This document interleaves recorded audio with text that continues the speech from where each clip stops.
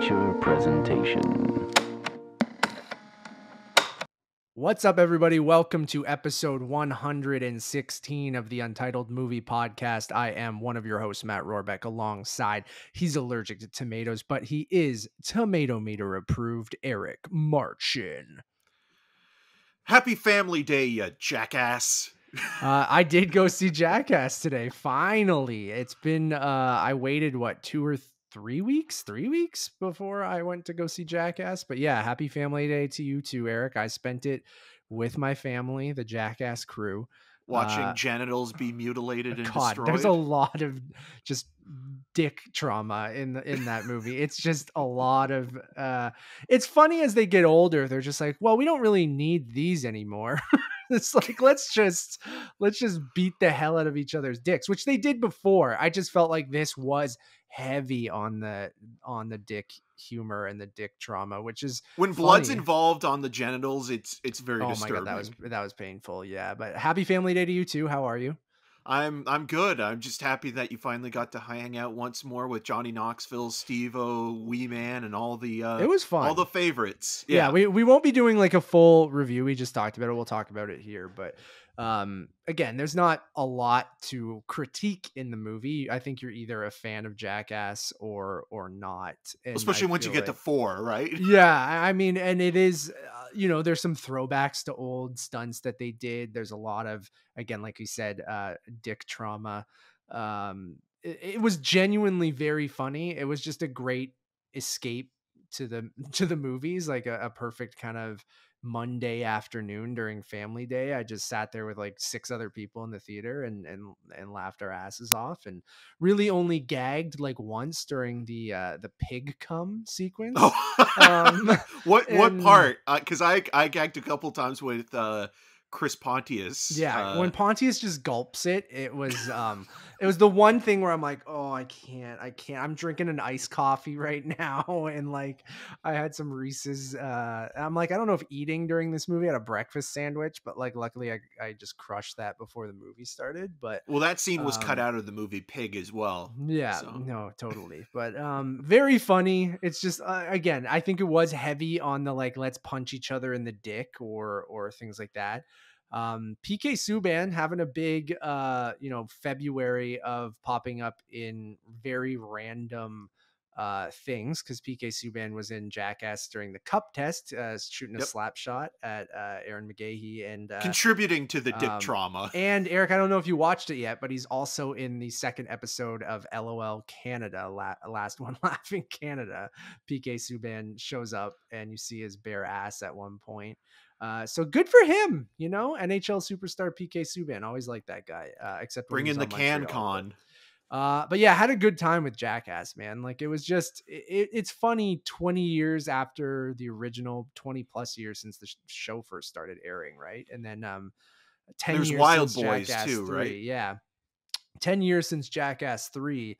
And you can tell that they're all older and maybe they're not doing a- as insane stuff, but a lot of it is pretty insane. And, um, you know, it is maybe not derivative, but it is a lot of the similar stuff you saw in those first three movies. But um, we were talking before I even watched this and said that three is probably your favorite, and I would say I think I'm in the same boat as you, where three. It's with the Toy thr- Story 3 of Jackass. yeah, the 3D cameras and that novelty I think really works for that movie. And um but this is incredibly enjoyable. And I think if you like those three first three movies, you'll you'll have a blast with this and you probably already watched it. But um had a great time with Jackass, just pure pure cinema. Oh, it's it truly is, you know, right up there with, you know, Citizen Kane and Casablanca and the Seven Samurai. It, it really, I, you know, I'm, I'm being glib, but I do think it is a very entertaining, visceral experience. That there's a lot of creativity that goes. Oh, into totally. It. And and yeah, they don't like get enough credit for that. Like a lot of it I said is them punching each other in the dick, but um there is a lot of like production uh to the whole movie. Like these ridiculous things that they come up with are very very funny and creative.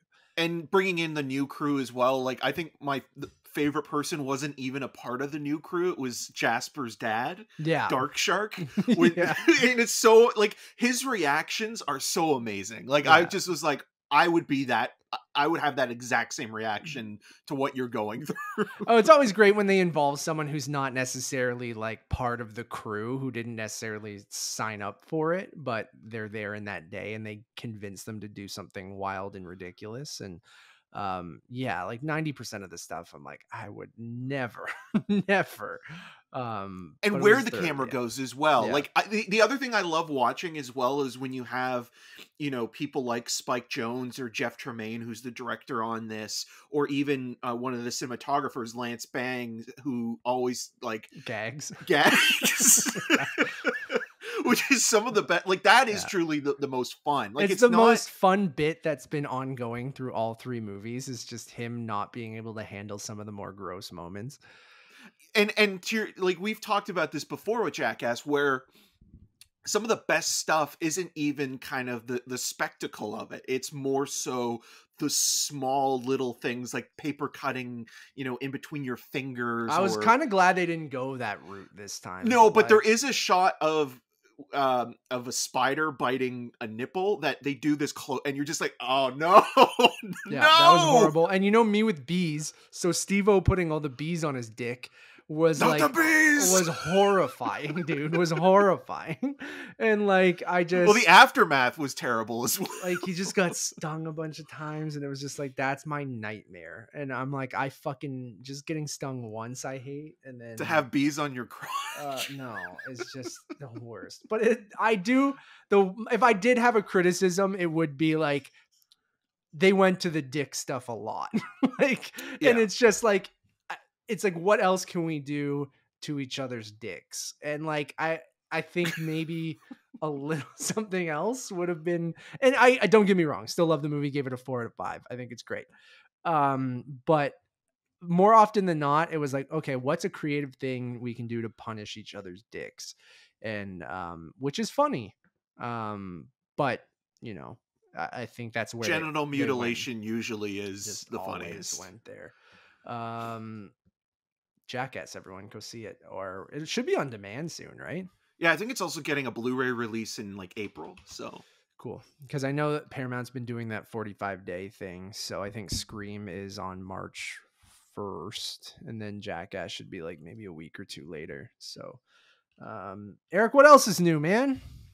not much matt i mean we're we're at the beginning of the year we're we're moving into spring coming up which is exciting so you know you've been watching things that you're either been catching up on for you know awards consideration because our uh, critics choice deadline got moved or you know you're just trying to watch some of the newer stuff and you know other than scream i would say most of it is eh, pretty middle of the road to be polite. Um not so much with uh the latest texas chainsaw massacre which um is terrible and deserve it. Like it's one thing to say that a movie is bad based on the buzz.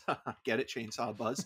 Um but it truly is a bad movie in the sense of that it didn't really know what to do other than copy halloween which is strange because halloween is the film that copied texas chainsaw massacre and Te- nightmare uh night, not night, nightmare uh night of the living dead and texas chainsaw massacre were the two movies that kind of ushered in this new wave of american independent horror which was very kind of you know focused on the exploitative nature of showing you something that was more graphic than Yeah. what had come before because what had come before were a lot of you know your classic universal monster movies you had a lot of hammer films coming out around that time. So you know a guy in a monster suit running around and terrifying you know the cast of characters as they survive a situation or or what have you. So you, you know your draculas your frankenstein's monsters wolfman that kind of thing.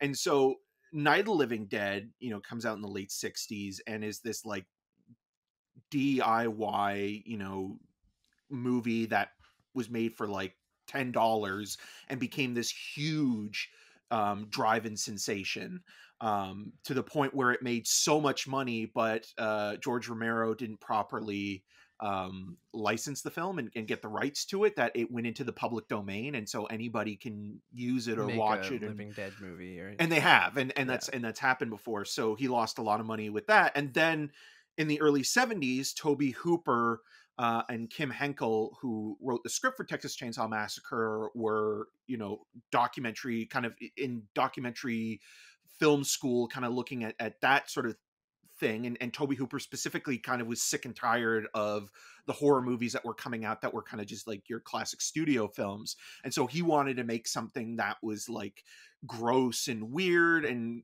partly inspired by the Ed Gein murders, uh, which also inspired um, Norman Bates and Psycho. And so when you watch Texas Chainsaw Massacre, like even right from you know John Larroquette's voiceover narration to kind of the way that the the film is shot, you can you get a sense that it is very much like you know kind of trying to break the rules of what traditional movie making is and kind of just going for the most ugly and Yeah. weird kind of shots it possibly can to the point where it can be also very um esoteric uh to like kind of watch because it is hard to get through i think especially now but the scenes that make the most impact in that movie are the last 20 minutes or Totally, so because yeah. you don't even get to kind of leatherface and and sort of the The the, family, the- yeah. yeah the gore until then and you're kind of stuck with characters that are you know i, I think marilyn little.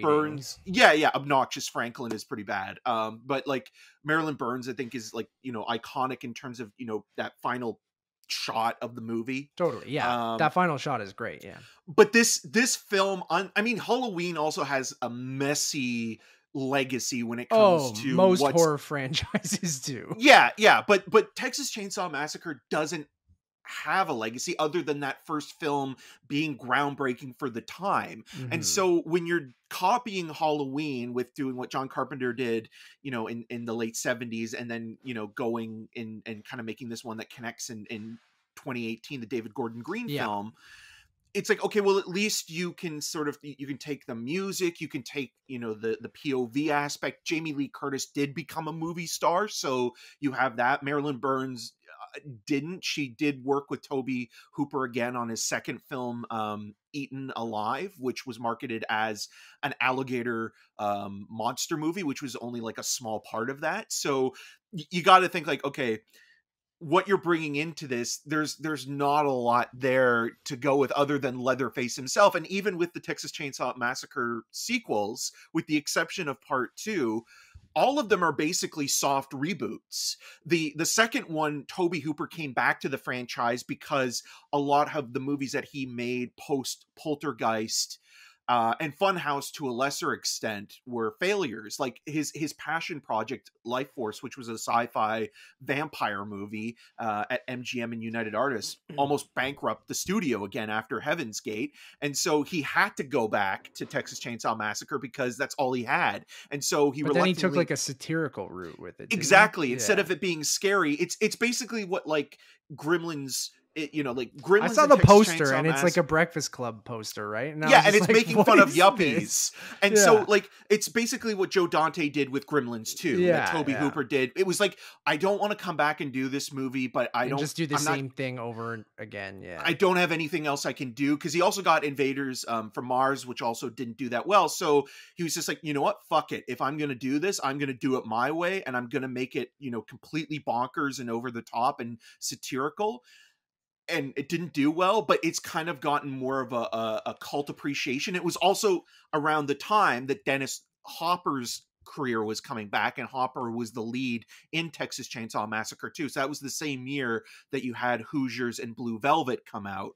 And so that was a big sort of uh, marketing tool of that movie. The only other thing the Texas Chainsaw Massacre series is well known for is starting a lot of careers. So you have people like Matthew McConaughey and Renee Zellweger in part four, the Kim Henkel uh, movie, the, the Next Generation. It was one of McConaughey's first movies. It was Renee Zellweger's first film.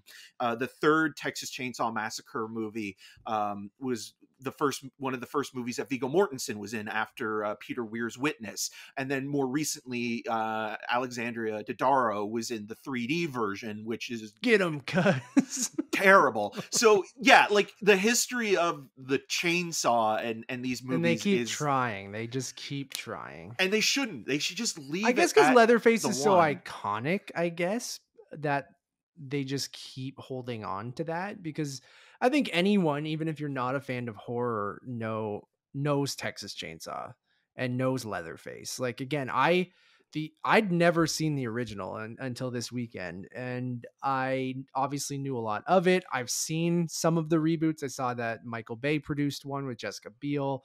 I saw the one with Alexandra Daddario. Um, I don't think I saw the one a couple years ago that was just called Leatherface. It's just like it's all over the place with these reboots for Texas Chainsaw. It's all over the face. where this one I'm like, okay, they're doing the Halloween thing. It's a legacy sequel. Again, Scream just tackled all that and and kind of poked fun at that. But I'm like, okay, I'll go back and watch the original and I'll watch this one and review it with you.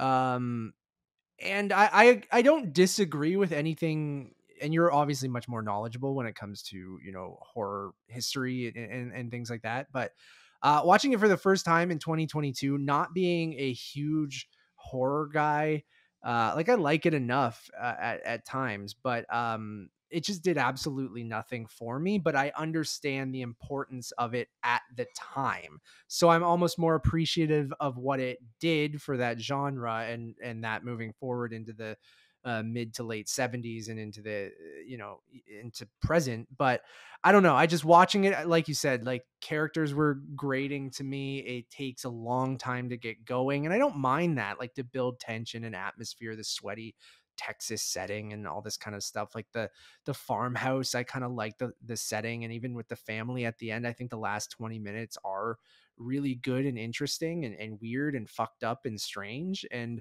the movie is very very fucked up and and and disturbing and i think it's effective in that way but um i could just never get invested into it and maybe wrong setting i was watching it in the afternoon on a sunday or whatever and i was just like The but it- Lord's Day. yeah, it just did nothing for me to the point where I'm like, I, I kind of appreciate that last 20 minutes or so. And um, you can see how it's even inspired a lot of other stuff. And and some people will get this, but I played Resident Evil 7 recently.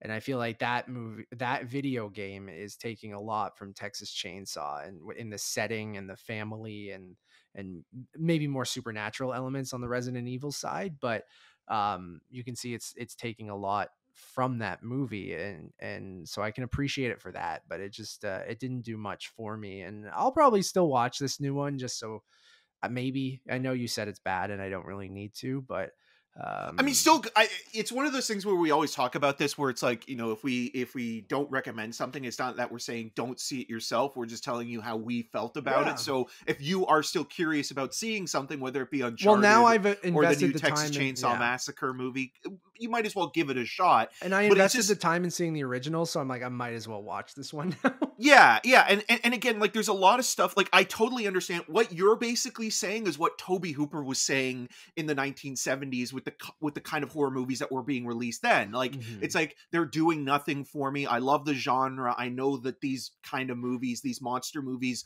are influential, but let's do something different. Where Mhm.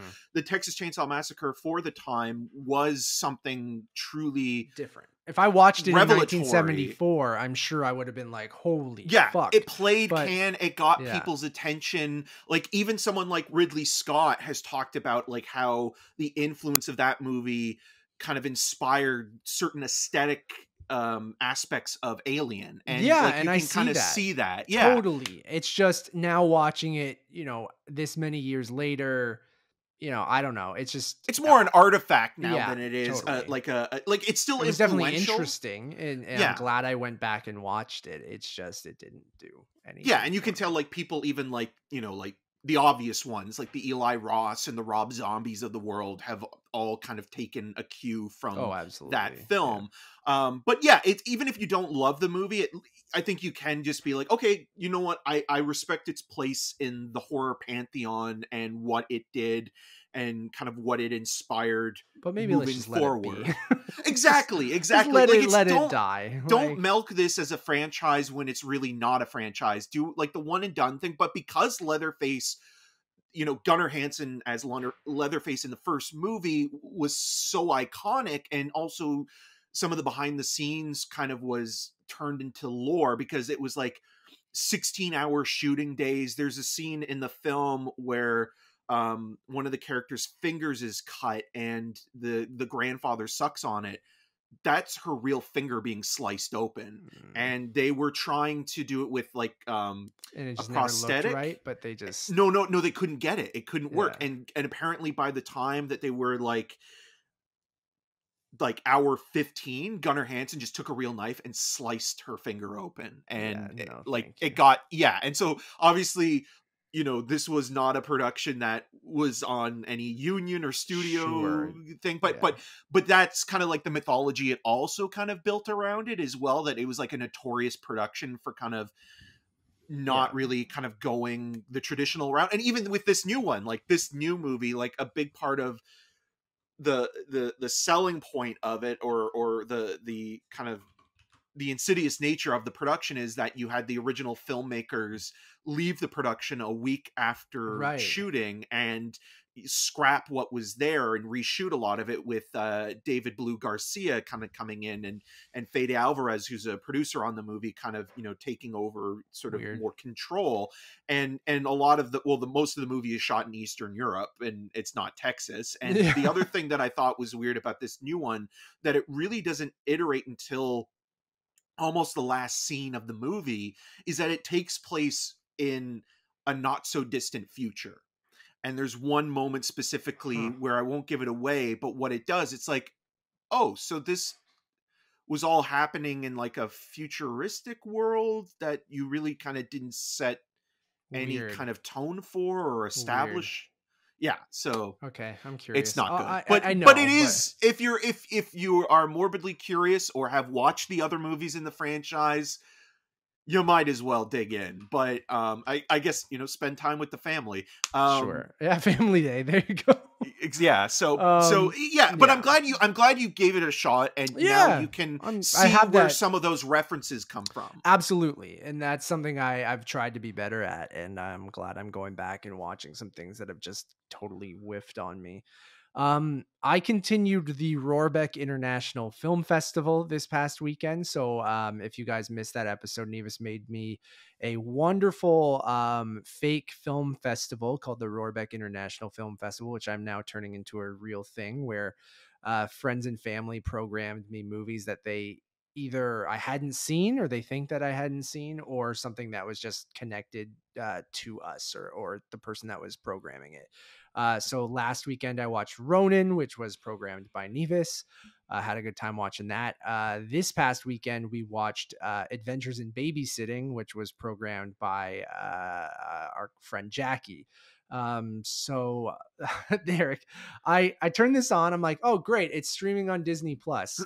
I totally forgot this was one of the movies in that big controversy when Disney Plus first launched, where they edited the shit out of it, and it was the TV version of it. Yeah, and especially like, with like "Don't fuck with the baby." Yeah, and line. I'm like, and they they edit a lot of the movie, and I'm sitting there, and it started and I'm like, oh, should I rent it for five dollars? And I'm like, I don't want to rent it for five dollars. And I'm like, I should rent it for five dollars on Apple. But then I was like, we were in the other room and my Apple TV wasn't set up there, and I'm very particular of where I rent my movies and shit for quality purposes. And like everything on Disney Plus, I'm like, the quality is good, but I'm watching the weird TV version.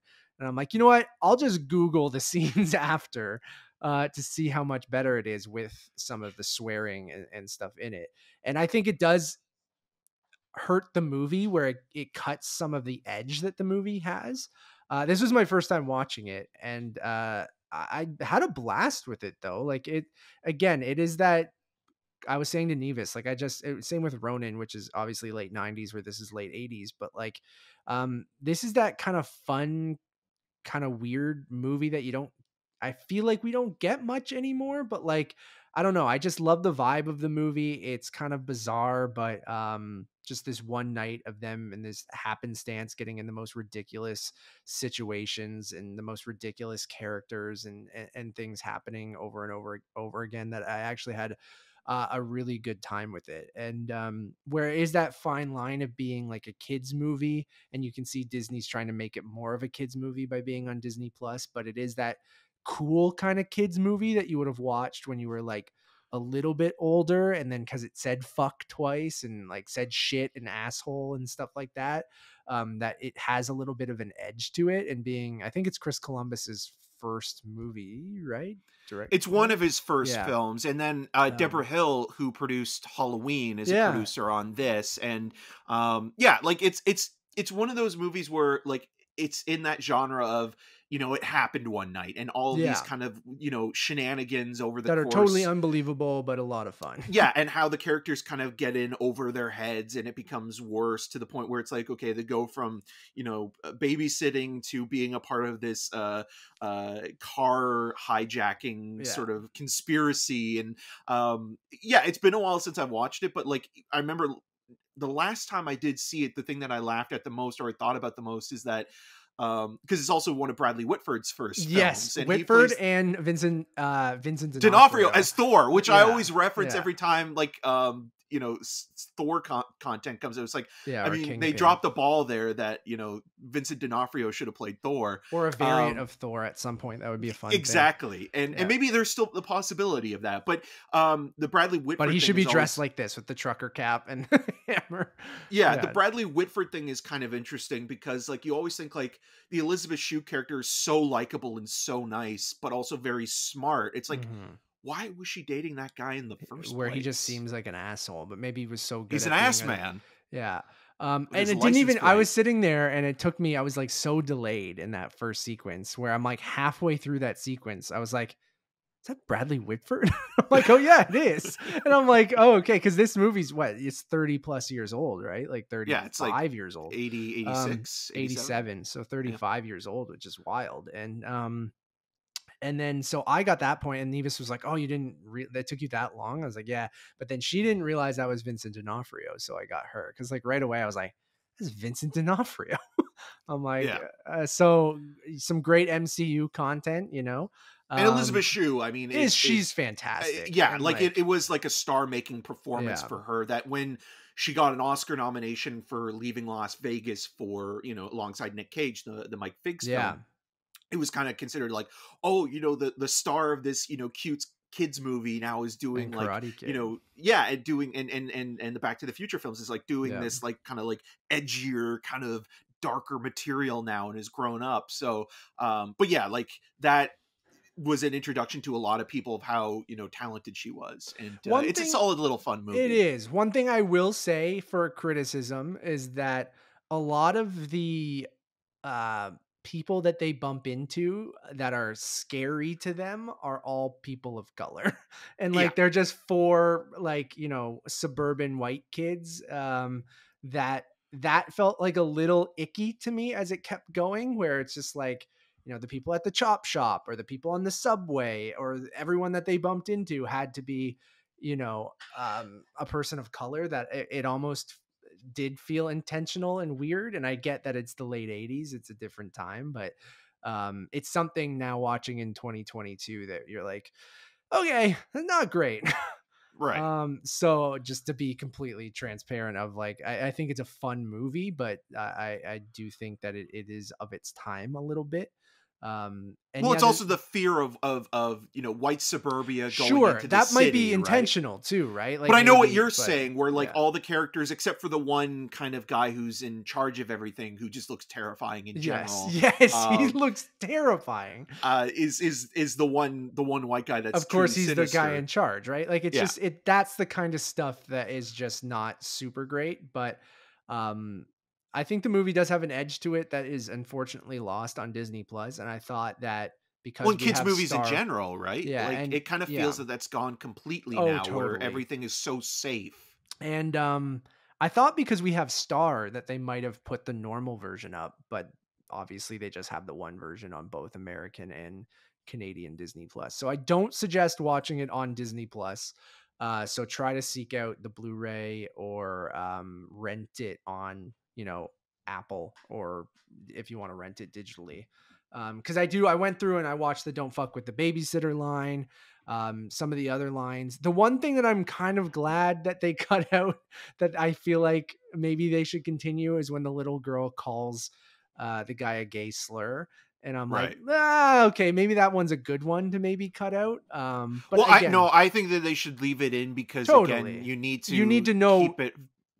And I think you need to know that that's what they wrote into the movie as like a funny thing back then, right? because like, the '80s were full of that. I mean, Yeah, Bill and and totally Ted, we've talked about that Yes. a lot as well. So. I- I'm sort of being facetious, but like it's just it, it. I agree with you that it should be in there for you for it to be jarring for this little girl to be like he called you this, and then you go whoa time out Jesus.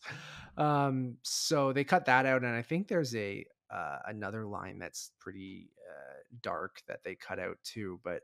Um, had a good I like- time with the movie, so I like when they go to the hospital after the one kid gets the knife in his toe, and it's like you're just gonna need one stitch. It's like yeah. tell them something worse. It's like he's dead. yes, it's hilarious. It, there's a lot of great stuff in that movie, and uh, again, it I, I- to your point, like yeah, I feel like it's either a kids movie or an adult, and I get like you know the big blockbuster stuff has an edge to it and can be violent and um and things like that without showing blood, but like this really felt like a you know this would have felt like a kids movie i felt like maybe i wasn't supposed to be watching if i was like seven eight years old right and Yeah. like You'd feel more though- grown up watching it. yeah, a little bit. Like it is that middle ground between like a G-rated movie and I know it's a PG-rated movie, but like, you know, an R-rated movie. Between PG and R or whatever. Like I think that's a, a fun spot to be in. right which is Um, also bizarre because a part of like like one of the subplots is that uh there's this playboy centerfold that kind of looks, like, and it is elizabeth shue and it is her. yeah but but- but like in terms of like The for- character, yeah. not yeah like in real life it was her but like not in like the movie No. universe and like the funny thing is is like wait this is a kids movie and you keep going to this is like a reference because of the writing that's on it and like and you know, that's what I mean by like them. it is that it's like I would consider it like not a movie for adults, but it's also not a kids movie. So it is like it is, but it is a kids movie, but you could get away with some of that stuff, which is I guess why Touchstone released it back in the day and not Disney, right? Even though Yeah. it's technically a Disney movie. it's it's a um, gr- it's a film for adults that grew up with it as kids like yeah, I still have a strong affection for it, even though to your point there are problematic aspects of it. But like, I think if there's a generation of kids that grew up with it in you know the late '80s into the '90s, watching it on cable when it would pop up, you know, now as an adult, if you were to watch it and having seen it as as as a child, I think you would be you'd have more tolerance towards it than say like if you were just an adult watching it for some reason. I Mhm. I don't know why. Like maybe you're an Elizabeth Shue completist or something, and you just throw this on, you'd be like, "This or it's programmed sucks." in a in a fake film festival that your Yeah. uh, fiance put together. But you really enjoyed it. Uh, I thought it was a great pick, Jackie. Thank you. Um, I can't wait to continue this. I don't know what I'll maybe I'll watch yours next, Eric. Hard maybe. target, baby. Yeah, I, I I'm just going through randomly, and I'm gonna start ranking them on Letterboxd. I don't know where I would put Ronin versus Adventures in Babysitting. It's such a weird comparison. like I I will say that I think Both have I- cars. uh, yeah um yeah. And i think i liked them both for different reasons. I gave them both a Yeah. three a three and a half um and i have issues with both for different reasons. So i don't know i'll, I'll see where i rank them. I think i had more fun with babysitting though. So that might edge out ronin by a little Right. bit Well, um it- but I, had, I liked ronin a lot though so- Ronin, in comparison to Adventures in Babysitting, is very self-serious. Where Yeah. like if you just want something that's kind of purely entertainment and enjoyable and isn't kind of maybe referencing as much when it comes to the history of cinema the way that Ronin does with Mhm. the car chase sequences, then yeah, well, I, I think they're both really fun movies. Though. Yeah. I think like they're both like Ronin is one of those films where it truly is like this is this director's last big hurrah before you know basically closing down and and and and kind of retiring slash passing away and so Mhm. like you can see that like the last little bit of joy that he had because he kind of struggled there john frankenheimer um you know with the last couple things he did with it you know coming on to to basically retool and work on the island of dr moreau and then reindeer games as well were two movies that were just kind of like they had so many problems in the production aspects of it and and he was a part of those problems but then ronin is this weird movie where it's like oh the, the guy that directed the train is back you know the guy that that that made all these great kind of you know weird thrillers from the 60s like the manchurian candidate and seconds is kind of having fun again and kind of like his last hurrah so Mhm. you can appreciate it on just that level too Yeah, absolutely. Um, the other thing I've been watching, I've been prepping for a little movie called The Batman by not watching Batman movies, but by watching Matt Reeves movies. So I watched the entire, even though I, I know he didn't do the first one, but I watched the entire Planet of the Apes uh, reboot trilogy um, this past week. Um, he- obviously, Matt Reeves stepped in to do uh, Dawn and War, where Rise was directed by Rupert Wyatt. But um, it's the same thing as as as Doug Liman directing the First Firstborn movie, and then Paul Greengrass kind of taking over and kind of Mhm. making it his own. That more Yeah. people are like, it's Greengrass than it is Lug- Doug Liman. I will give Rupert Wyatt some credit though, because I do think, and I think you're on the same page, Eric, where that first like Rise of the Planet of the Apes, I think is a pretty solid little like first installment. And I think that trilogy as a whole is I know it made good money and, and it was very well received critically, but I, I still feel like it's one of those underrated movie trilogies because I just feel like it is one of the best representations of how to do a modern reboot of a classic franchise. Like I I'm so incredibly impressed with all three of those movies and like um both Matt Reeves movies I think are it just makes me so fucking excited for the Batman because like those movies on paper should not work like any of them like and even seeing trailers or scenes out of context or or if you're not a fan of those movies or know know of them and know the quality that you might go like what the fuck a monkey on a horse with machine guns? like or like do you think you'll feel real emotion and all this kind of stuff? but the movies all three of those movies i feel like say so much about so many different things and are so uh, more elevated than you would expect them to be for just silly movies about like apes taking over the world that like there's so much more to them than that and i feel like that those three movies are a near perfect like blockbuster movie trilogy that has actual incredible filmmaking, cinematography, music, performances, and then they're just engaging and fun at times, but then like emotional at other times. And uh, I'm just so thoroughly impressed. And I, I know I loved them all when I saw them in theaters. And but I think watching them back to back to back, um, Caesar's arc throughout those three movies and just where those movies go, I think are, are so excellent. And they're also different from one another too.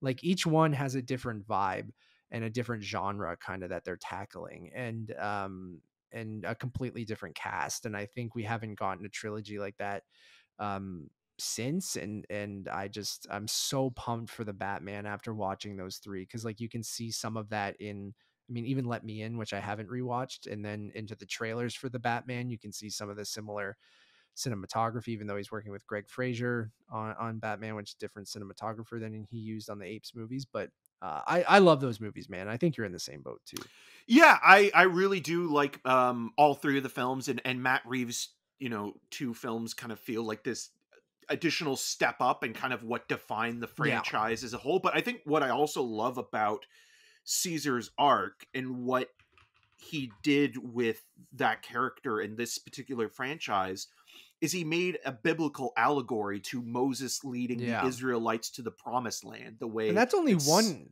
like I that's one interpretation I think there's many Oh yeah, no, no, there, there yeah. totally is. But like the idea that you know the, the- this this one character becomes the leader and is Yeah. looking for a place for his followers and disciples to find you know peace and sanctuary and like that kind of being also just an interesting setup for where it ends because the where it ends is where the first planet of the apes movie begins Yeah. basically and Mhm. and like that is kind of fascinating as well An because origin trilogy yeah because even though there hasn't been another Planet of the Apes movie since War of the Planet of the Apes, the way that they set it up, it's like okay, well, you know, we'll we'll leave it open, but also you could just look at this as you know connective tissue to, To the original, original films yeah. you know and and and it's respectful in that way and i and i really uh do like those movies and and yeah like they are weirdly underrated as a franchise as a whole like all three of them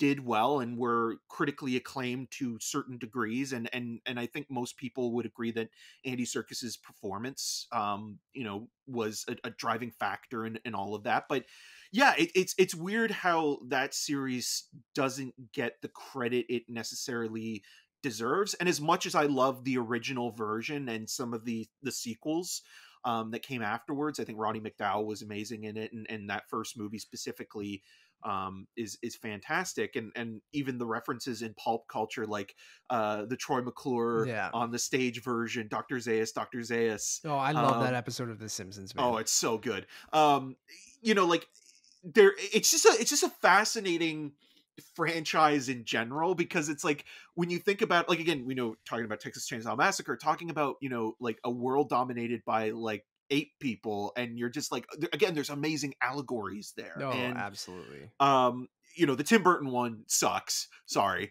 uh it's bad Fucking uh, but but What are but- all these apes doing here? but it's just really interesting that it's like there was a time where apes.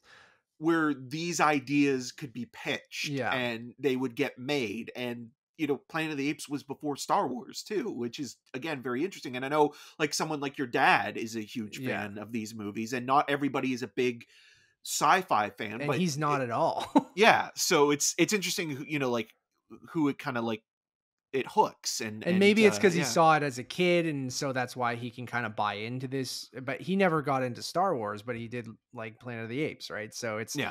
it, it is interesting and like he loves this trilogy as well to the point i brought him to the press screening of war and i remember that just being a, a really fun experience with my dad and um him getting to see it before it came out and it's just such a wonderful movie and and yeah like i said like each movie has its own vibe to it i, I think dawn is probably my favorite and um i just think that movie fucking rips at every level like it's just so fun and just uh and intense and just gary oldman is great and like i mean jason clarke is great and kodi smit-mcphee and keri russell kind of underused but still great because it's keri russell and she's amazing and like uh but then the third movie being like yeah that kind of war kind of movie and, and woody harrelson being this just nasty piece of shit and just um um and yeah just it how it just lets those movies live and let you live with the apes with the very minimal dialogue and all sign language and just Michael Giacchino's score is like uh, just absolutely you can I, I tweeted this at someone because I tweeted out like how many franchises that guy's been a part of and we talked about him during um a review recently I forget uh, for Spider-Man. And um and he's just been doing everything and you can kind of really tell when he's super invested in something or if he's working with like one of his close friends or or, or something like that because i feel like you know that's when you get top tier Giacchino or then you get kind of some other ones that just are like all right let's i let i need to buy a, a another car or something right uh Giacchino and daddy like, needs a new house yeah, uh, yeah, something like that. Where um, I think his scores for both Dawn and War are absolutely fantastic. And yeah, Andy Serkis, which I remember the conversation at the time where people who were fans of those movies were like, he should get an Oscar nomination, and it should be like the first, you know, fully CG character, fully Motion you know, capture, motion yeah. capture performance. Uh, to get a uh, Oscar nomination, and unfortunately that did not happen. But um, he is he's absolutely phenomenal in those movies, and and just uh just everyone's arc like koba's arc throughout it and caesar's relationship with koba and like uh maurice is just such a wonderful character throughout all three of those movies you just love that guy and um and just even like rocket and you have all these like arcs and you know these individual apes and then to your point of like the the little nods to where the franchise is going with caesar's son being cornelius and just like um all that stuff where to your point like disney could and I think they did announce that they are doing uh, another one that um, uh, Rick Jaffa and is it Amanda? What's her name? The writers of the original movie and and stuff like that are coming back and and they're doing another one. So maybe they'll finally adapt that first movie or or who knows right? Like and they said it will continue caesar's legacy or whatever which you assume it'll just pick up when cornelius is a, a, bit older right? And um and that you're a bit further into the future. And they could easily adapt that first movie with the i guess you ruin the twist with troy mcclure point. yeah. Yeah. I guess you don't do the twist at the end but i mean the twist can still be there for the characters if if you do go the route of the astronauts that have been in cryo sleep or whatever and crash back on Earth and or you, know, see it from the point of view of the apes instead yeah. of the Charlton. Because maybe it's character. been so many years where they haven't seen a human, and and yeah, people crash land, and I don't know what the story there would be, but um, I guess you could just adapt that first movie and and do something similar. But um, I I hope it continues. Uh, you know, you do worry that you know bringing new uh, even if you're bringing back the writers, like depending on who you attach to the, these movies as a director and, and, and stuff like that. But um, I'd be so down for it to continue because I, I I think those movies are awesome. Yeah, as long as the quality of uh, whoever is the the director um, behind it, because I do think it is a director forward um, blockbuster yeah. um, series, because you can really tell that Matt Reeves you know you look at let me in and some of the the shot choices he makes in that movie and how they kind of follow into um you know his he loves like a static well. camera in a rotating like in a car crash or that yeah three, that 360 shot on the tank is absolutely fucking awesome in in Dawn of the Planet of the Apes and there's another sequence with Jason Clarke a one shot as he's running through uh his like uh home area um, while all the apes are attacking, and it, it's it just absolutely rips. It's so so good.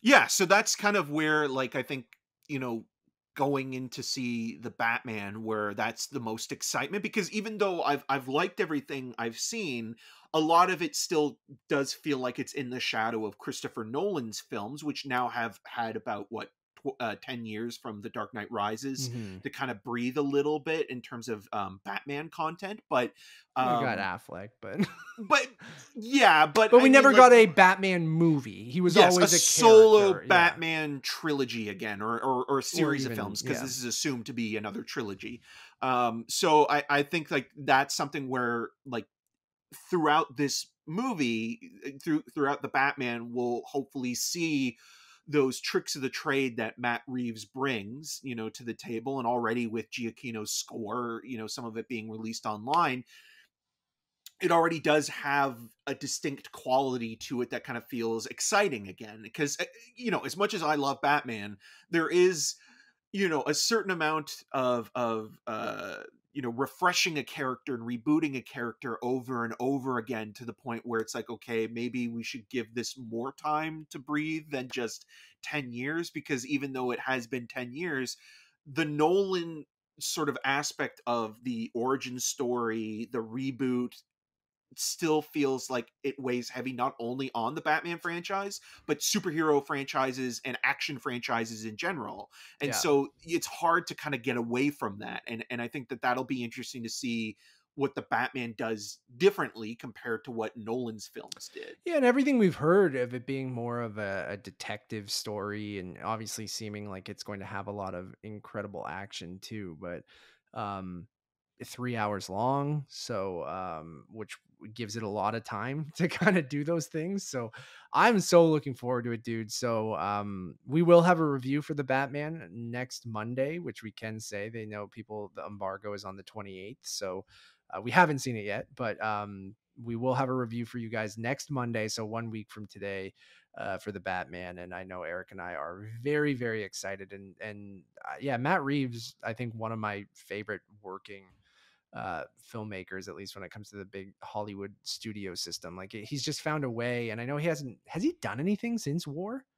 No, no right? No, because so, yeah. he was he literally got the the Batman gig right after as as yeah. War was doing the press junket stuff. Yeah. And people kept asking him questions about like, oh, how does the Batman compare to, or how does Batman compare to? It just feels like I guess like it's five years ago, so it's not that long. Like I thought War was you I, again these movies just kind of go under the radar like i thought they were further away from us than they were but um i'm just I, am pretty pumped so um but he I, does take time because even after even before um Dawn of the Planet of the Apes, like let let me in was the last thing that he directed, right? So and that was and that was give him credit for that too, so, right? Like yeah. he does select something and he gives it his all, and and we've talked about it. Like while I also love Matt Reeves because it just seems like he just gives a shit, and there's not that element of like he's doing anything because it's you know a job or he has to do something like you know him going and tweeting and putting things on Vimeo is like him getting permission from Warner Brothers to put a 4K version out because he knows their marketing team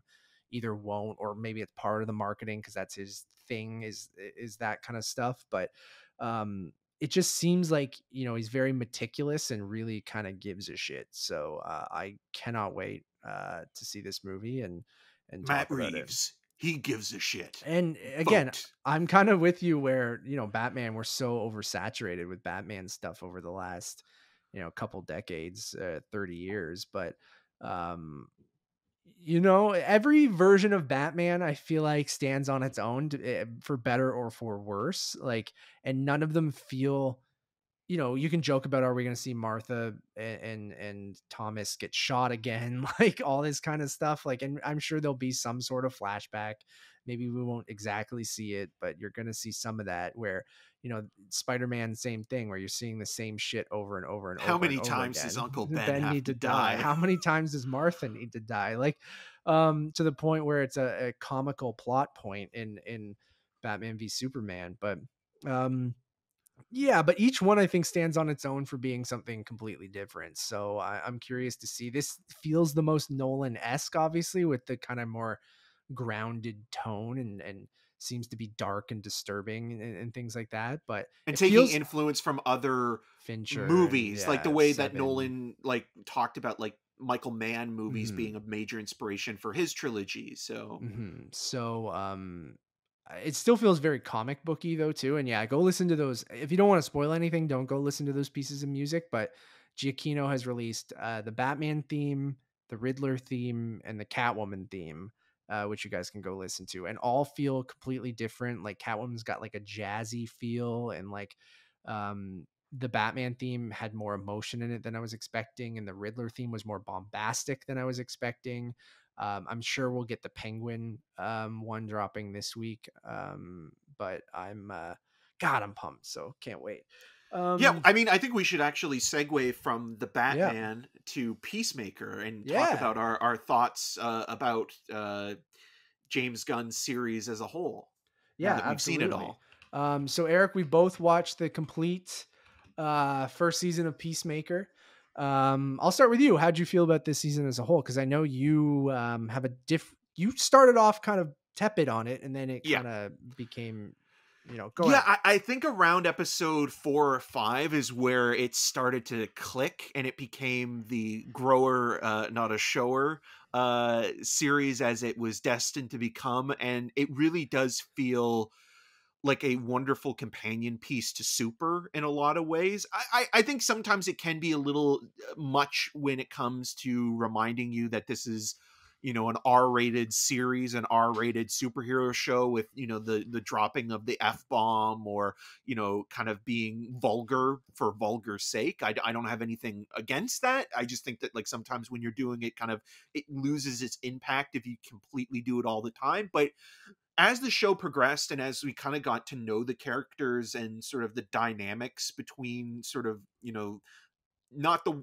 and this is the other thing I actually really liked about it is that there's not a lot of world building. It kind of feels like it's more focused on the characters than it is plot per se. Like the plot of this alien invasion going on is almost secondary to. And it's very of, straightforward, but yeah.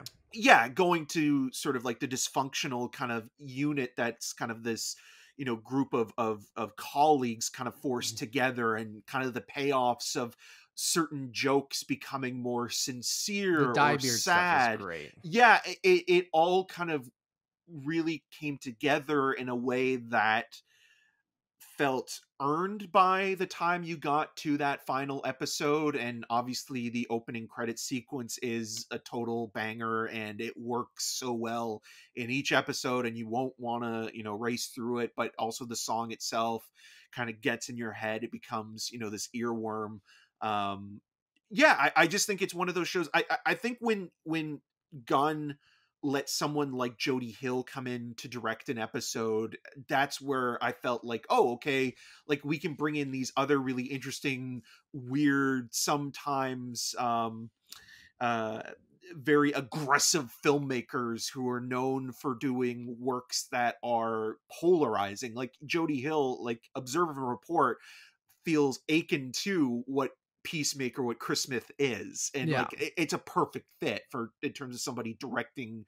an episode of that. And Yeah. so, yeah, it maybe it doesn't have you know a, a, great episode in the way that like in the book of Boba Fett, the one that Bryce Dallas Howard directed was phenomenal and kind of felt like, like, a it really- standout episode from the rest, but it it's Yeah. so consistent, or or like you said, it kind of grew to this ultimate uh climax that I think I'm totally in agreement that I think it's the best thing the DC that's come out of the DCEU. I think it's one of the best things James Gunn has done, and I feel like it's the perfect thing to show people that superhero shows can work and especially weird ones about characters you don't know or didn't care about or even saw in a movie and were a piece of shit in there where you're like, I don't fucking like this guy. Why would I want to watch a series about him? How is he going to be redeeming? And then by the end of it, you're tearing up when an eagle hugs him and like or, or that diebeard moment that i'm mentioning or just even if the plot was simple with the butterflies like where that goes was unexpected and and how you know chris deals with them as he's finding himself and try to find a better version of himself and like um even though he's still you know still peacemaker and still doing the things that and how that takes a toll on a character especially a character that you you never would have gotten that if it wasn't for a TV show about them right like you don't have enough time in a movie to spend with a character in an ensemble cast to know much about him or even want to know much about him so it's just i think the perfect example of like that can work and i've liked it even more than most of the marvel stuff and you guys know how much i'm a like a mcu fanboy and like um and how the DC stuff wasn't really working for me. But there's like a moment in this episode, and I'm not going to spoil it, but like I'm surprised at how I popped for it. I was like, oh shit. and I was like, like, I don't care at all about these people, but like this was cool that they did that and were able to get those people. And like um and and when you talk about world building, like, yeah, I think it keeps it pretty, you know, tight onto that group of characters and it feels like it is in that world of the suicide squad but then the world building that james gunn did for the dceu and really hammering home that now this is that same world that you saw in batman v superman and man of steel and um you know aquaman and and all of these movies that is like it doesn't make sense that it's in that world but he just he commits to it and makes you kind of believe by the end of it that this is this ridiculous world that these people live in and this is all normal. So when they're talking about Bat-Mite or Green Arrow or all these characters that hadn't shown up in the DCEU but makes it feel like this bigger universe or bigger world that we never really got to see and I'm surprised that you know uh Warner Brothers and DC is kind of at that point and we talk about it that they're at a good point where they're just like yeah, fuck it, just do whatever you want. like we're probably gonna reset this shit with the Flash anyway, so it's like just do whatever you want. It, it will make it make sense. And like continuity is like not a huge deal, and they'll kind of, you know, which I think is the opposite side of Marvel, right? Where continuity is everything. Everything needs to be, you know, uh, very meticulously planned and when there are plot holes or something that doesn't work in one movie or the other or you have to include this in in this movie because it's setting up this thing three movies from now like that's what comic books got in, uh, kind of in trouble with because like the content it got so bogged down in continuity people were like shit can i jump in or do i need this like 20 years of history? Like what's this tied to? What's this not tied to? And he did a good job of going yeah it's it's in this universe but who gives a shit? is essentially their their stance right now is like some of it yeah it is it isn't who who cares? We might have fun with it in this series it might take it seriously in this one it might we might reference it here here it might feel like it's not. So like i like that and i love the mcu for being bogged down in continuity and i think you'll either love it or hate it for that um, and i think the further we go on without you know eventually they're going to have to reset and we're going to get reboots of all these characters and then that'll be interesting where it'll be in universe but they're all reboots which are already kind of getting to so um, anyways i love it. I thought john cena best work of his career. I kind of shit on that guy uh, a little bit for his dramatic chops in a lot of movies, and I also thought he only worked in like comedic kind of silly roles where I feel like this was a great balance of both the comedic and he also crushed some of those dramatic moments and I feel like uh, it played to his strengths which we've talked about but uh, there are some moments where I'm like damn John Cena's good actor. I'm like good for him. And the whole cast is great and yeah the payoffs for a lot of the stuff throughout the season they slow played a lot of stuff and then for it to come back and be as impactful as it was like I'm amazed at how much emotion I tweeted this too, but how much emotion James Gunn can put into something that seems so silly or something that we don't care about or or things like that. So yeah, I thought he crushed it. And I'm glad it's coming back for season 2. Yeah, same. And and and to, and like again, like it's one of those things where he gets so much mileage out of a CGI character that you become sort of completely bonded with in the same way that in this series Chris is with Eagly. Yeah. Um or he's takes, just it's like one of his trademarks now.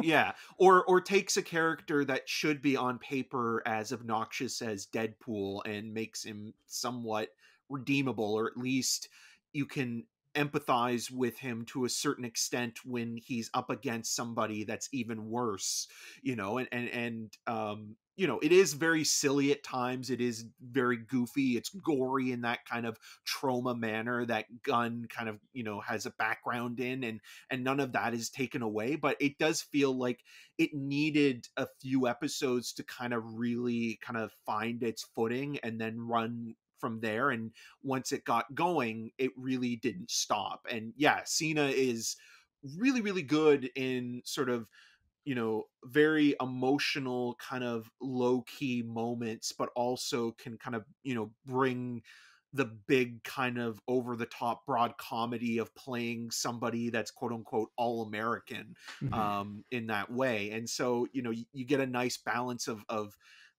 his greatest kind of, you know, strengths in those scenes and and kind of coming together in that final episode so well that you do want to see you know maybe a little bit more of where this character's story could go and that's you know why i think season 2 will be something worth checking out in the next year or so when when you know it it, it gets released. So it'll be exciting to see how or what that does and and it also does feel separate enough where like the way that they talk about these other comic book characters almost sounds like the way that you know people have pop culture references in general so you can kind of just like look at it as like oh it's like guys from like a Kevin Smith movie talking about Bat-Mite instead mm-hmm. of you know like um necessarily being like oh well everything is all interconnected and this is you know part of the the DCEU which yeah. it is but at the same time again like it's not going to be in the same kind of realm as the the suicide squad the movie itself or um you know any of the upcoming uh films whether they be the new aquaman movie or the flash or uh shazam 2 it's it's its own weird little thing that kind of is you know a pocket in this world that i think actually really works to its its benefit. Mm-hmm. and it just makes all this wild shit that's happening believable where you're not going how would that why is that character reacting that way? or or whatever. It's just no that's how this world is. So you kind of just buy into that. Um it's great. If you guys haven't checked it out you really should even if you haven't been a fan of the DCEU or uh, I would highly suggest going back and watching Gunn's Suicide Squad before or the Suicide Squad my bad um before you have to be specific this. with that one because i think it does call back to like how he was in that movie and i think you know the face turn um after the heel turn in that movie i think like it's it was immediate but it, it just it felt very believable and and earned um because they do cut back to a couple moments from the Suicide Squad quite frequently. Well, um, in the um first episode, the the recap is the is the movie, is the right? I guess yeah. yeah. So you could just jump into the first episode, and they're going to kind of give you the cliff notes, but um, it's worth watching as well. Um, Cool. Uh, Eric, anything else you watched that you want to talk about? Or yeah, I'll quickly just recommend this because Scream Factory sent me a, a, a, copy of it. It will be available. I mean, I'm, I'm it'll be available as uh, uh on Tuesday uh, this week. We're recording on on the Monday.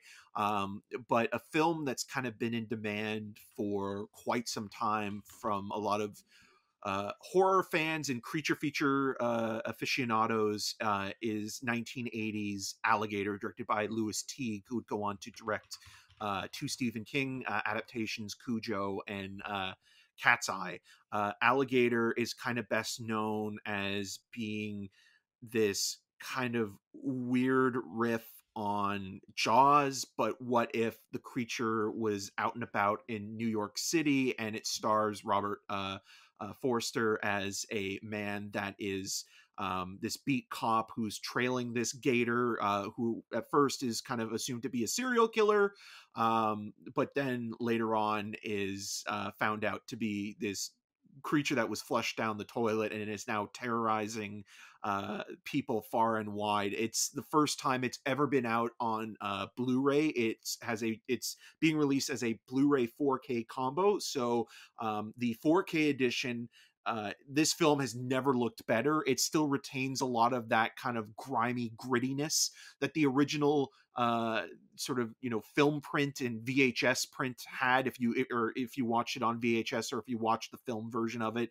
um, I remember talking to Quentin Tarantino uh, about it specifically when I was in LA. Um, Humble brag. They, well, the reason why I bring it up because they they had a, a film print of it that they were playing at the New, at the New Beverly, and when I was talking to Tarantino about it, he said that he based Max Cherry on uh, Robert Forster's character from Alligator. Of what if this character from Alligator became a bail bondsman in Jackie Brown? And so, you know, talking to him about that was a lot of fun. And then on the the 4K Blu-ray combo pack, there's a just a delightful little interview with Bryan Cranston who was a PA on this movie in 1980. And it goes to show you one, how much fun he had making that movie or, or just being on set of that film.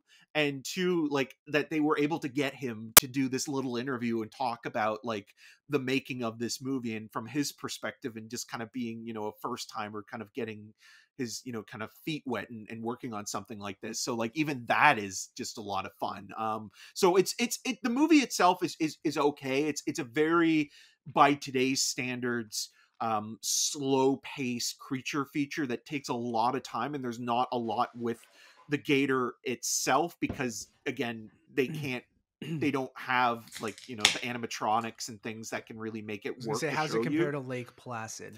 Lake Placid, there's more there's more gator uh, uh, uh, footage than there is in this where like it's all like practical effects of like a gator in a pool opening its teeth when somebody jumps into right, it or right, right. like shots of like somebody being dragged in the sewers and stuff like that so it's it's the less is more kind of thing because they didn't have the more to work with um but it has its charms it's just it's just a very deliberately paced movie for the time because it does feel like it's trying to take the police procedural of this one guy investigating these series of grisly murders and then sort of fuse it with the creature feature genre where the creature feature stuff kind of is more in the last act of the movie. And then they did a sequel, which is also coming out uh, through Scream Factory called Alligator 2 The Mutation, which is only really a, a sequel in title and has uh, Dee Wallace, uh, who is probably best known as the mom in E.T. and was in, in the mom and Critters as well, um, and was also a, a, lead in The Howling,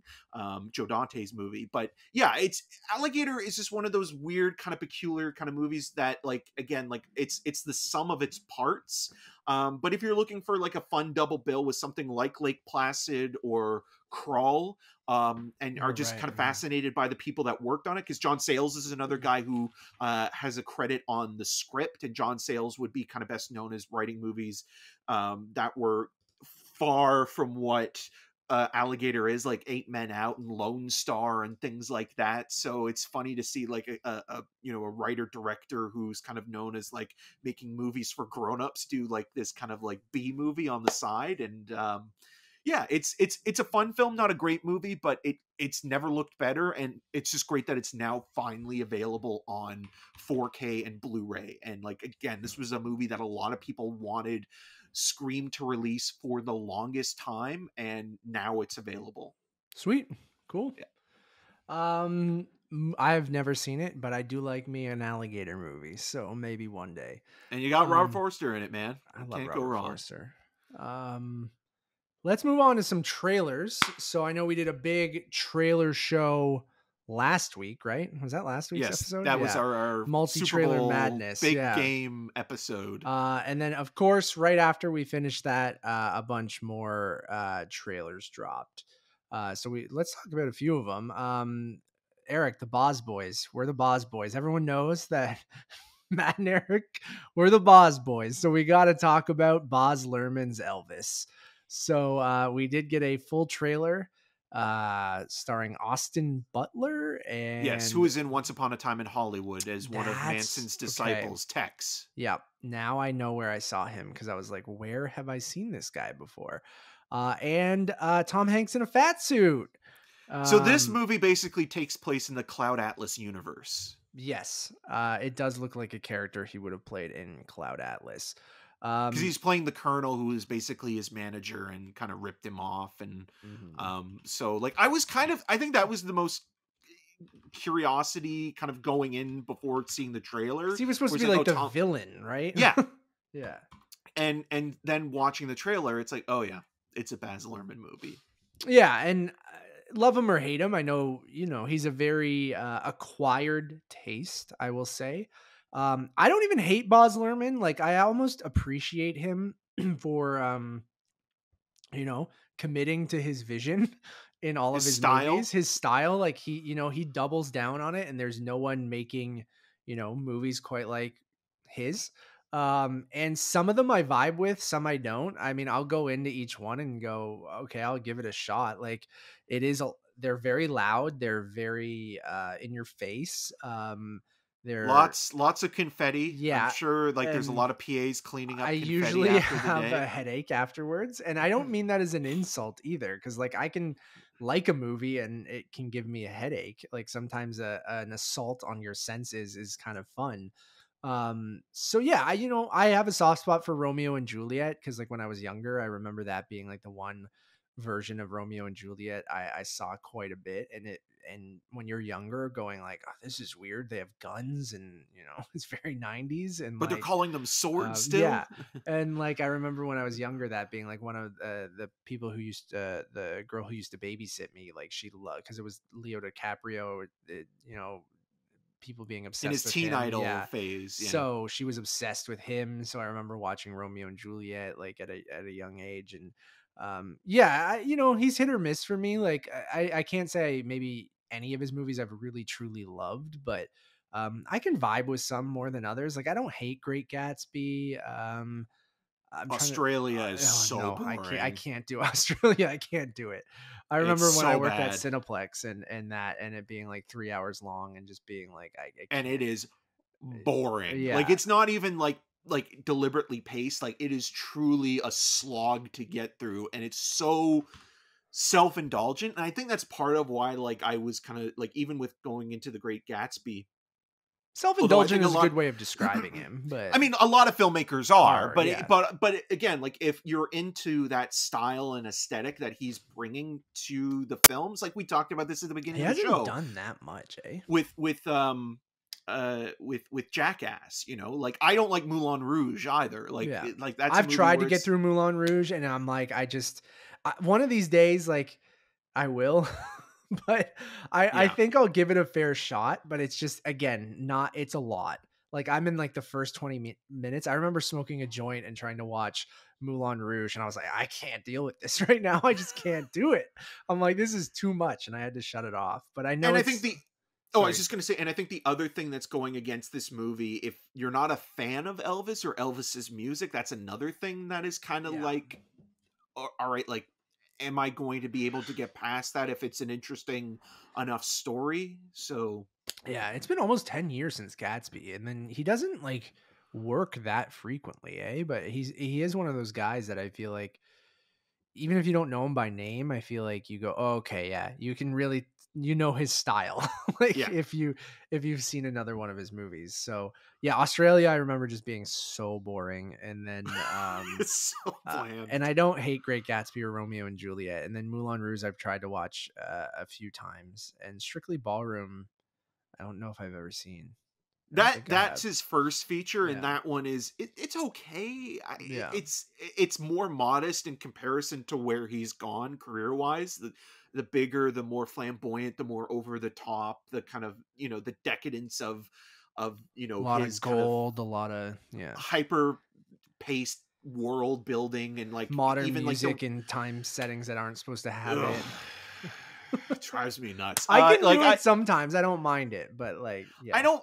I guess I. I mean, like again, I, I'll probably sound like a contrarian, or or like there's always, uh, you know, uh, what what's what's the saying? The, the, there, there's always an example to the rule, or like there's Oh, totally. Like, Nevis was watching. Euphoria the other night, last night actually, and um, I was watching a bit of it, and I'm like, a lot of this stuff on paper are the classic Matt things that I like, but when I saw it in Euphoria, I'm like, this is obnoxious. But like in so when you like something, you like something, and when you and don't, you've got you the, the taint of It's like- assassination nation. Yeah, and I think that's why, right? And why I don't like um, uh, Sam, Sam Levinson. Levinson. So when I see Overture come on the screen and there's like a two minute segment of just an overture, a musical overture, I would eat that shit up in um, what's? Tarantino movie. A Tarantino movie, or who's the da- guy who did Vox Lux, which I know a lot of people. Um, oh, uh, uh, uh, Bradley uh, Colbert.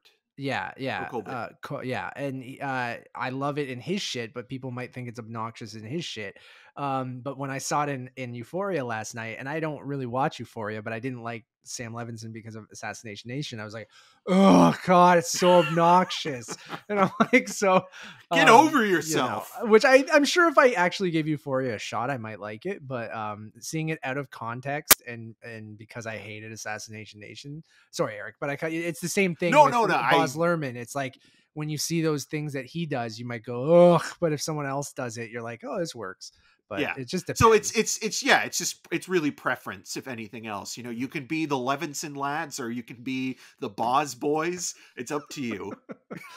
yeah. But anyways, Elvis didn't do much for me. Um, No. I've never been an Elvis guy either. So like, Shot in Australia though, which Um, is kind of and is it a it's a musical, right? Or is it? I think it's I think it's a musical in the same way that Moulin Rouge or Gatsby is, where it is incorporating, you know, a lot of the music of both not only Elvis, but like that's the that is the one kind of interesting thing. And and and even though Walk the Line is not a good movie either, but it kind of got the point across in that film where, you know, you had people like Johnny Cash, Roy Orbison, Elvis, all kind of coming up at around the same time, and like what that meant, and and that will be something that I'm sure is also going to be debated. And it's even in the trailer a little bit. Is that Elvis, you know, directly took influence from African American artists in the gospel and repurposed it as his own and kind of got rich off of it without really giving credit where credit's due. Yeah. So that's a whole other conversation and can of worms that I think is going to be um, front and center when the movie comes out, and and has always been um, a talking point because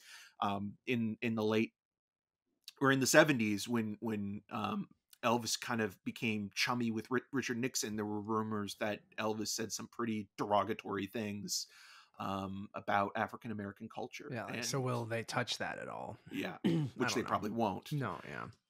Uh, a trailer I do really want to talk about is Chip 'n Dale Rescue Rangers.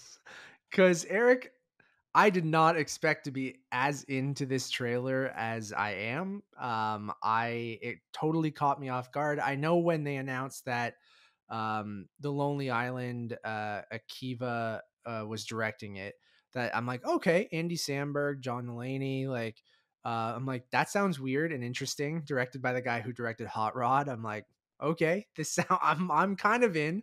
And then I see this weird Roger Rabbit meta kind of take on Chip and Dale. Um, and I was completely kind of like, holy fuck, this looks awesome. I think this looks great. And I know we're at a point where the self-referential kind of meta stuff is almost getting uh you know legacy sequel reboot scream touched on it many other things are um but i just i i just love the sense of humor that those guys have and the irreverent kind of take on it and um uh i just continuously laughed and i've watched this trailer like four or five times i had to show it to nevis and i'm like nevis you're not it's i know if even if you don't care about Chip 'n Dale, like i gotta show you this trailer because it, it it it will be completely different than what you expected and um i just thought the jokes hit um the mix of animation live action and CGI animation. Like I don't think we've ever seen a movie that had a CGI character and a 2D animated character in a real world setting, like going about things. And just this the line about the CGI sur- uh, surgery is so funny.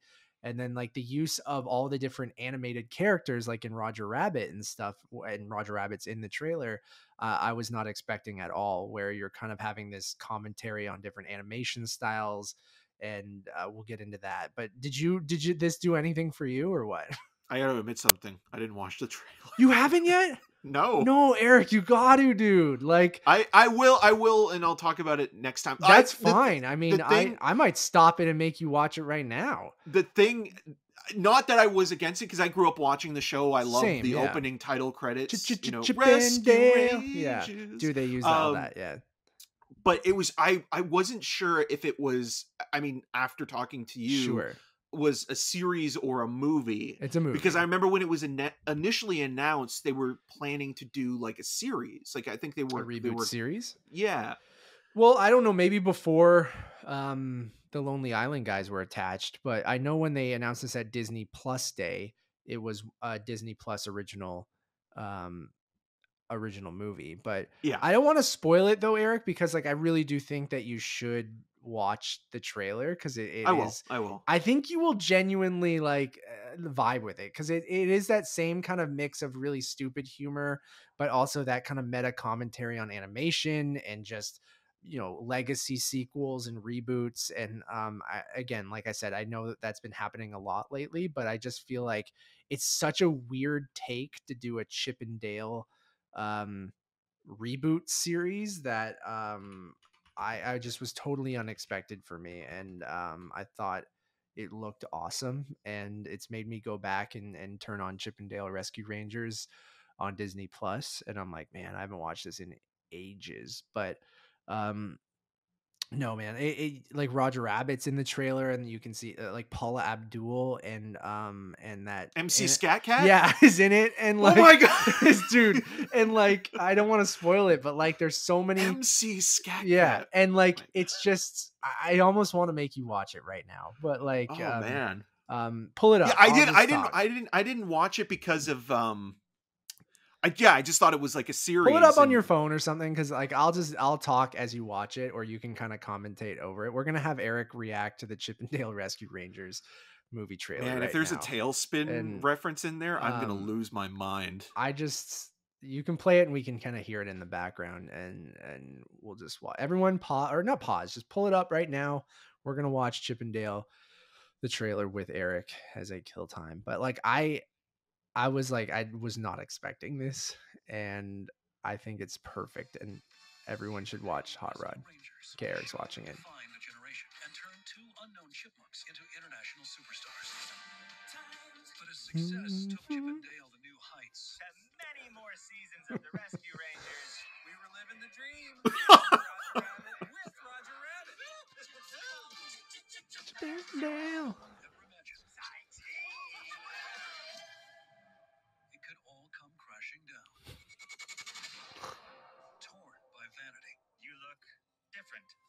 no secret I had the CGI surgery done.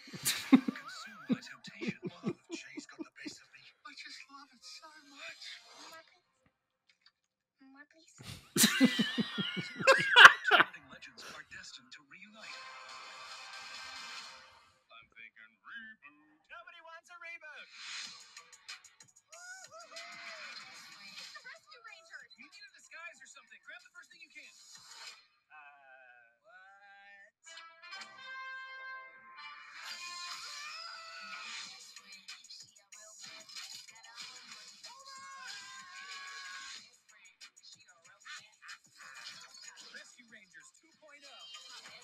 this is great podcast content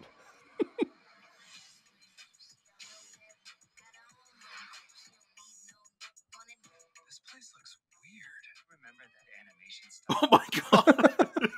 Nothing looked right. Who are you? Are you talking to us? Obviously. But it looks like you're talking to that window. It actually looks like I'm looking right at you. Look at my eyes. Looking right at your eyes.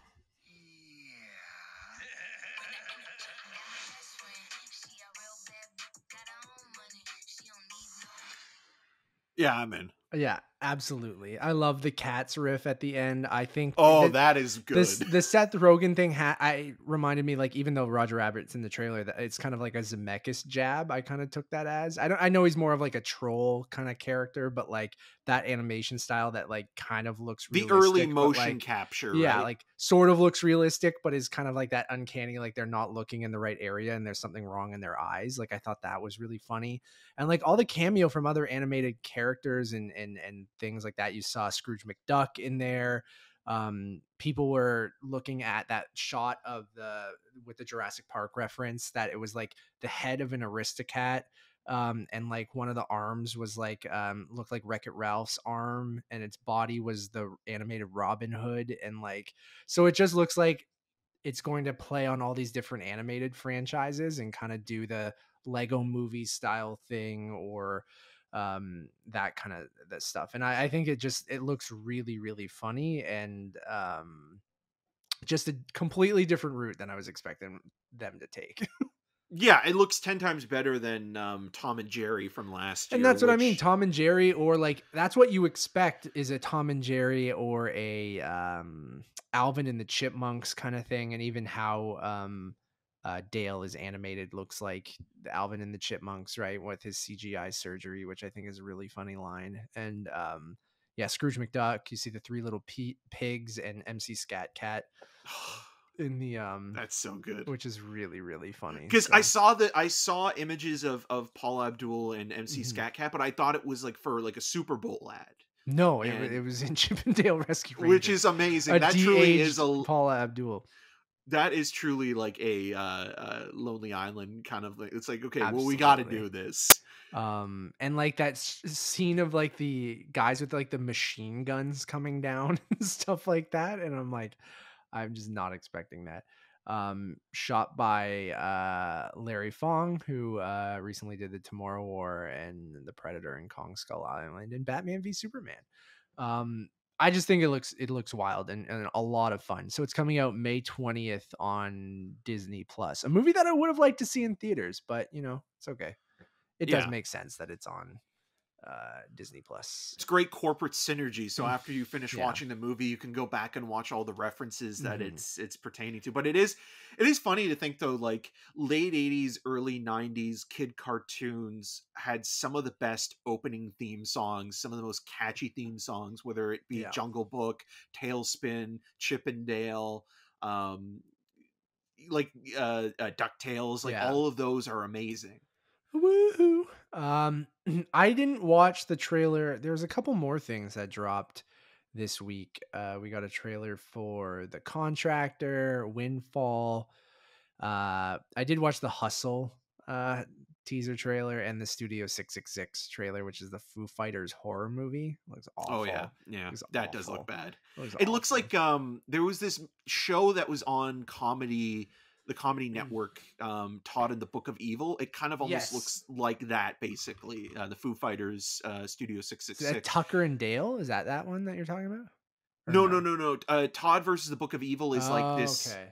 it's this kind of like canadian low budget it kind of is in the same realm as tucker and dale but tucker and dale like has a point where it's almost like this joke that these two guys aren't serial murderers but every time they're in a situation with somebody they become kind of like the fall guys uh where todd in the book of evil is like this really bad like sort of like high school kind of you know on the precipice of evil kind of thing and like a lot of the special effects are really tacky and what have you um windfall i did watch uh the trailer for which is the new film from charlie mcdowell who directed um i can't remember the name of it now i'm, I'm blanking on it but basically what windfall looks like is it's the one with uh, elisabeth moss which i didn't really care for um it's like you're the one or something like Yeah. that um but with windfall it kind of almost looks like uh the ref that movie with denis leary and kevin spacey um, from the early 90s directed by uh, ted demme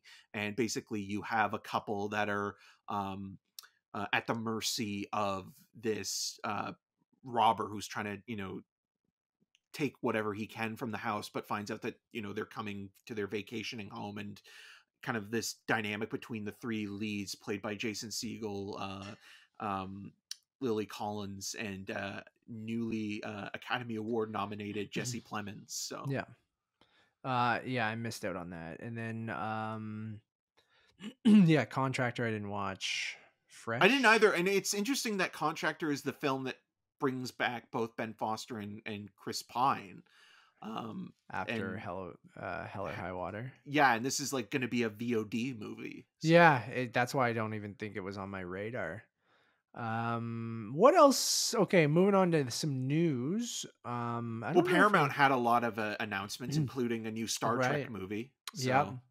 Paramount had their like investors day Yeah. uh, kind of thing, right? Where they did confirm that the original cast of the Star Trek reboot series is in talks to come back, which I know they were working on for quite some time because that's gone through a hell of a lot of people, right? Like there was the obviously the Tarantino version, there was the what's his name uh, Noah Hawley. Noah Hawley, and now I forget who's even attached because there's been so many people. I think it's like either Sarah Clarkson or someone like that. But yeah, then there was like there was that one pitch, and I don't know if it's going to be the same where they were going to bring Chris Hemsworth back, and it was going to be kind of like about like sort of focused on the fathers, like father. yeah, that's originally, but they couldn't get everyone on board, Scheduling right? wise, right, Scheduling yeah. wise, yeah. So, um, and I know the cast was trying to fight for, I think, maybe some raises or things like that. But it's good to like. I like that cast. I like the reboot series. Like, I think Beyond, um,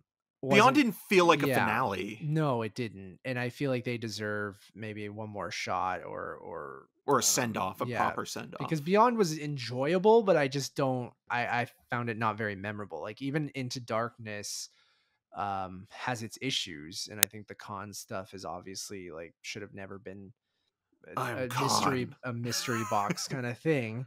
Um, but you know, I, I felt like it's still a little bit more impactful than Beyond, or or felt more important than Beyond. Um, and I just haven't thought about that movie a lot. I remember seeing it in that fucking surround vision Barco or Oh, Barco Escape is when we saw it, but it was like now it's Screen X or whatever. yeah. Um, terrible.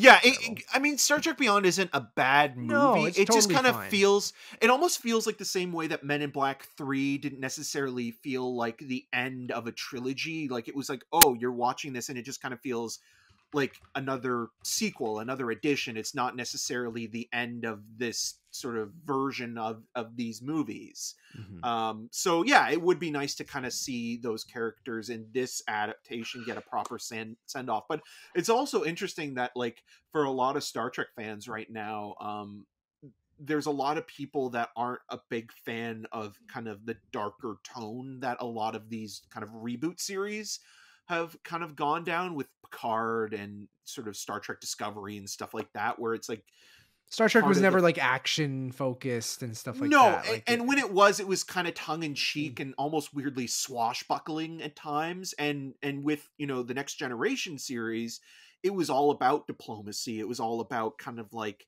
like there were there were fun moments like you know any time that they would interact with when jean-luc picard would interact with like q or something like that it'd be kind of campy and, and a little bit kind of you know fun. But yeah like it was never considered a series that was like necessarily kind of about like it's you know more the action set pieces. then yeah, yeah. right.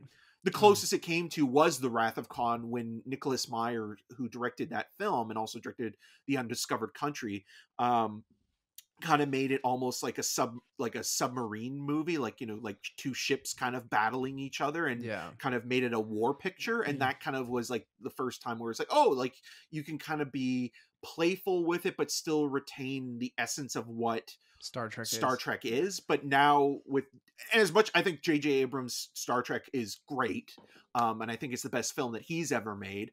Um, it it kind of does feel like with that kind of what we've been talking about this whole show, the reboot, the reimagining, the legacy film, you know, even with Star Trek has turned it into something it's maybe necessarily it's not, and maybe that can work for a movie or a new film franchise. But when you're bringing it back to the series, which never was that, Star Trek was always kind of boring. yeah which wasn't a bad thing it was just No, no, no, no. what it what it was and like i Yeah. think abrams obviously i think it's one of the best examples of that of keeping everything canon that came before it, but doing the alternate universe kind of thing where it's like well, yes, the red matter excuse. yeah these are the these are the exact same you know characters but we took them a different route because their history was changed because of this so yes he grows up to be william shatner or whatever and i think great casting for pine and, and the whole cast great casting on everyone um but you you could take some liberties of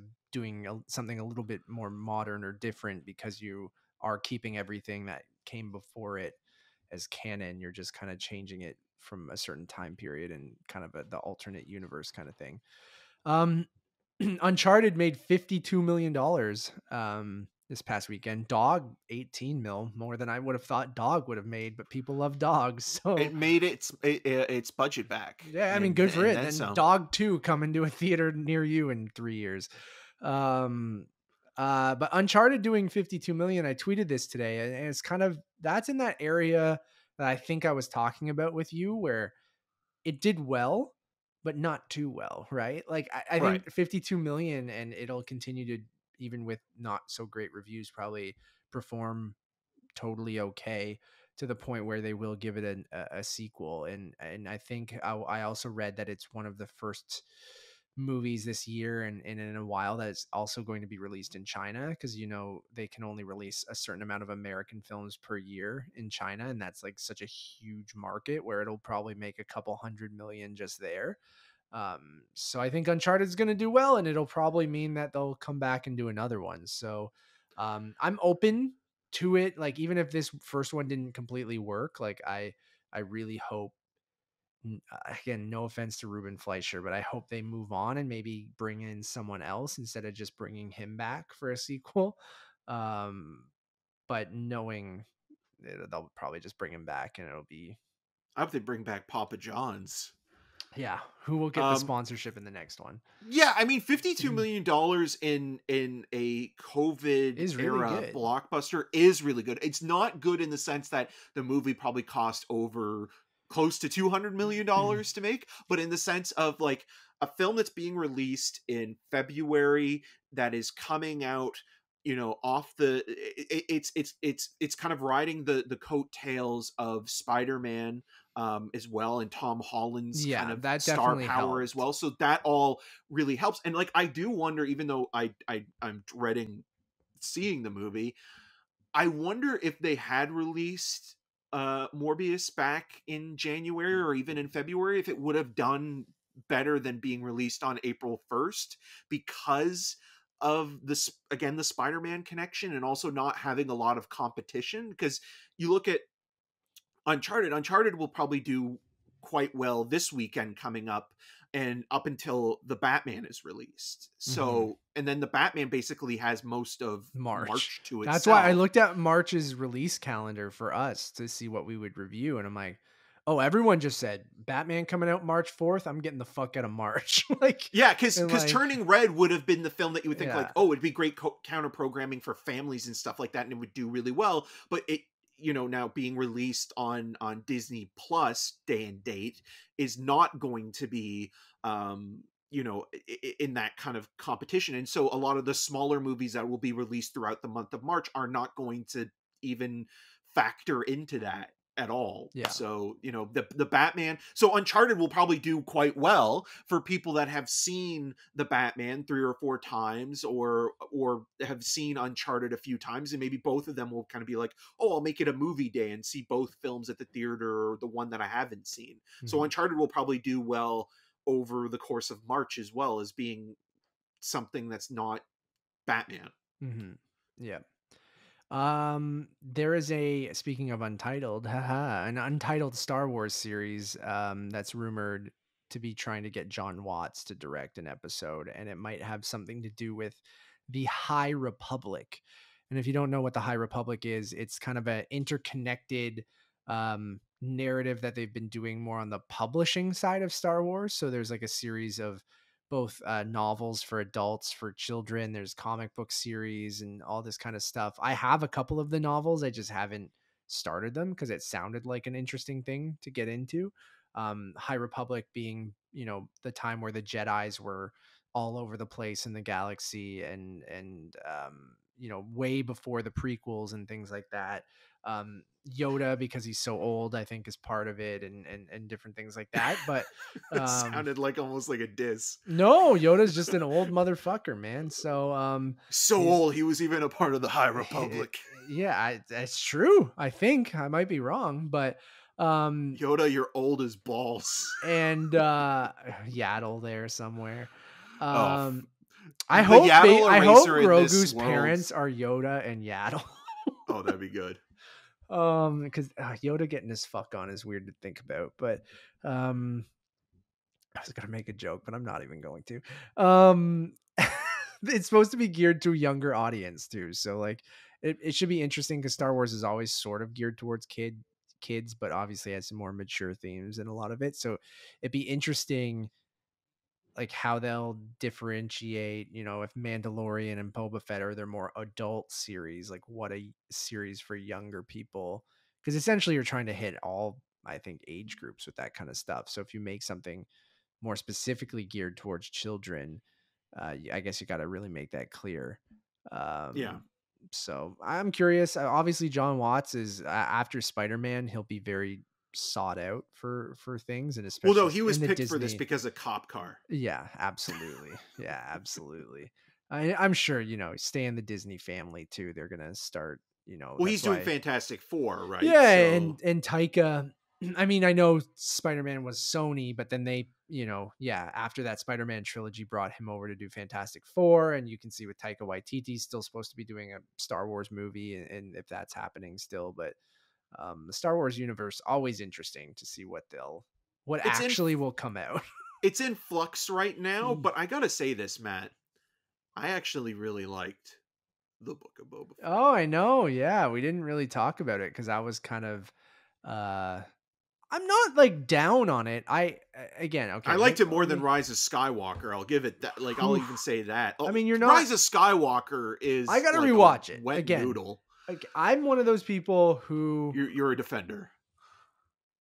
yeah, but like not like a strong. Like I'm not gonna go to like I'm not gonna put my life on the line. Now, are you for it, but, Daredevil like, or are you Jessica um, Jones as yeah. a defender? um i'm rey skywalker um i i like the sequel trilogy i'm one of those people that kind of just like star wars for the most part and I, even book of boba fett which i'm going to sound more negative on i'm like i don't hate it and the sequel series i'll be very curious i i'm i'm itching for a complete Star Wars rewatch because I haven't done that probably until leading up to Rise of Skywalker. So now, a few years removed from Rise of Skywalker, I would love to go back and rewatch everything, prequels included, um, and with Rise of Skywalker and the whole Skywalker saga to see how I feel because I did soften on that movie. I think I, I liked it when I saw it. I was one of those people that liked Force Awakens a lot. I liked Last Jedi a lot, and I liked Rise of Skywalker a lot. That's not a lot of people. um, I mean, there is a lot of people who just Two out of something. three ain't Um, bad. I know you, yeah, and I, I get Last. Jedi slaps. Oh, I don't it's so care good. what anybody It's- says. it's that great. movie is the best of the new films, and I like the And Force all of Awakens. I think has- the Force Awakens is a great, great uh, greatest hits movie. Yes, a- a- agreed. Um, so, anyways, back to Book of Boba, Boba Fett, which the Emperor has returned. It's the worst, and I, and I, even for me who didn't mind that movie when I first saw it, that is still awful. I remember wa- going in and being like, "Oh no!" Could you imagine Oscar Like- Isaac, who's an amazing actor, being like, "Really? That's say that's how we're gonna do that. That's that's what we're gonna do, or that's how he's gonna come back. That's what we're gonna do. Are you guys sure? Has. Are you guys sure?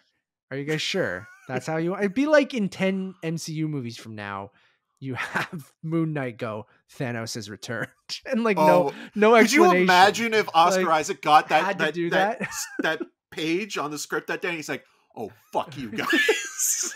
like it's just there was no build up to it. There's no that movie is very messy. So I'm very I'm very curious. You can tell that they just had they didn't know what to do. and- No, and and it's hard to, especially when you have that added pressure of it being the final in a nine film, you know, series that is supposed to basically kind of like sum everything up, wrap it all up, and the direction that they were going to go in, I think, was a little bit different, and and and as much as JJ did what he could, I don't think the enthusiasm was there for what he was doing as a director that compared to what he was doing with The Force Awakens. Oh yeah, totally. And and like even the way that you know, the spin-offs kind of fumbled quite a bit when it came to like how the, the planning of of that was going to be and now a lot of the the spin-offs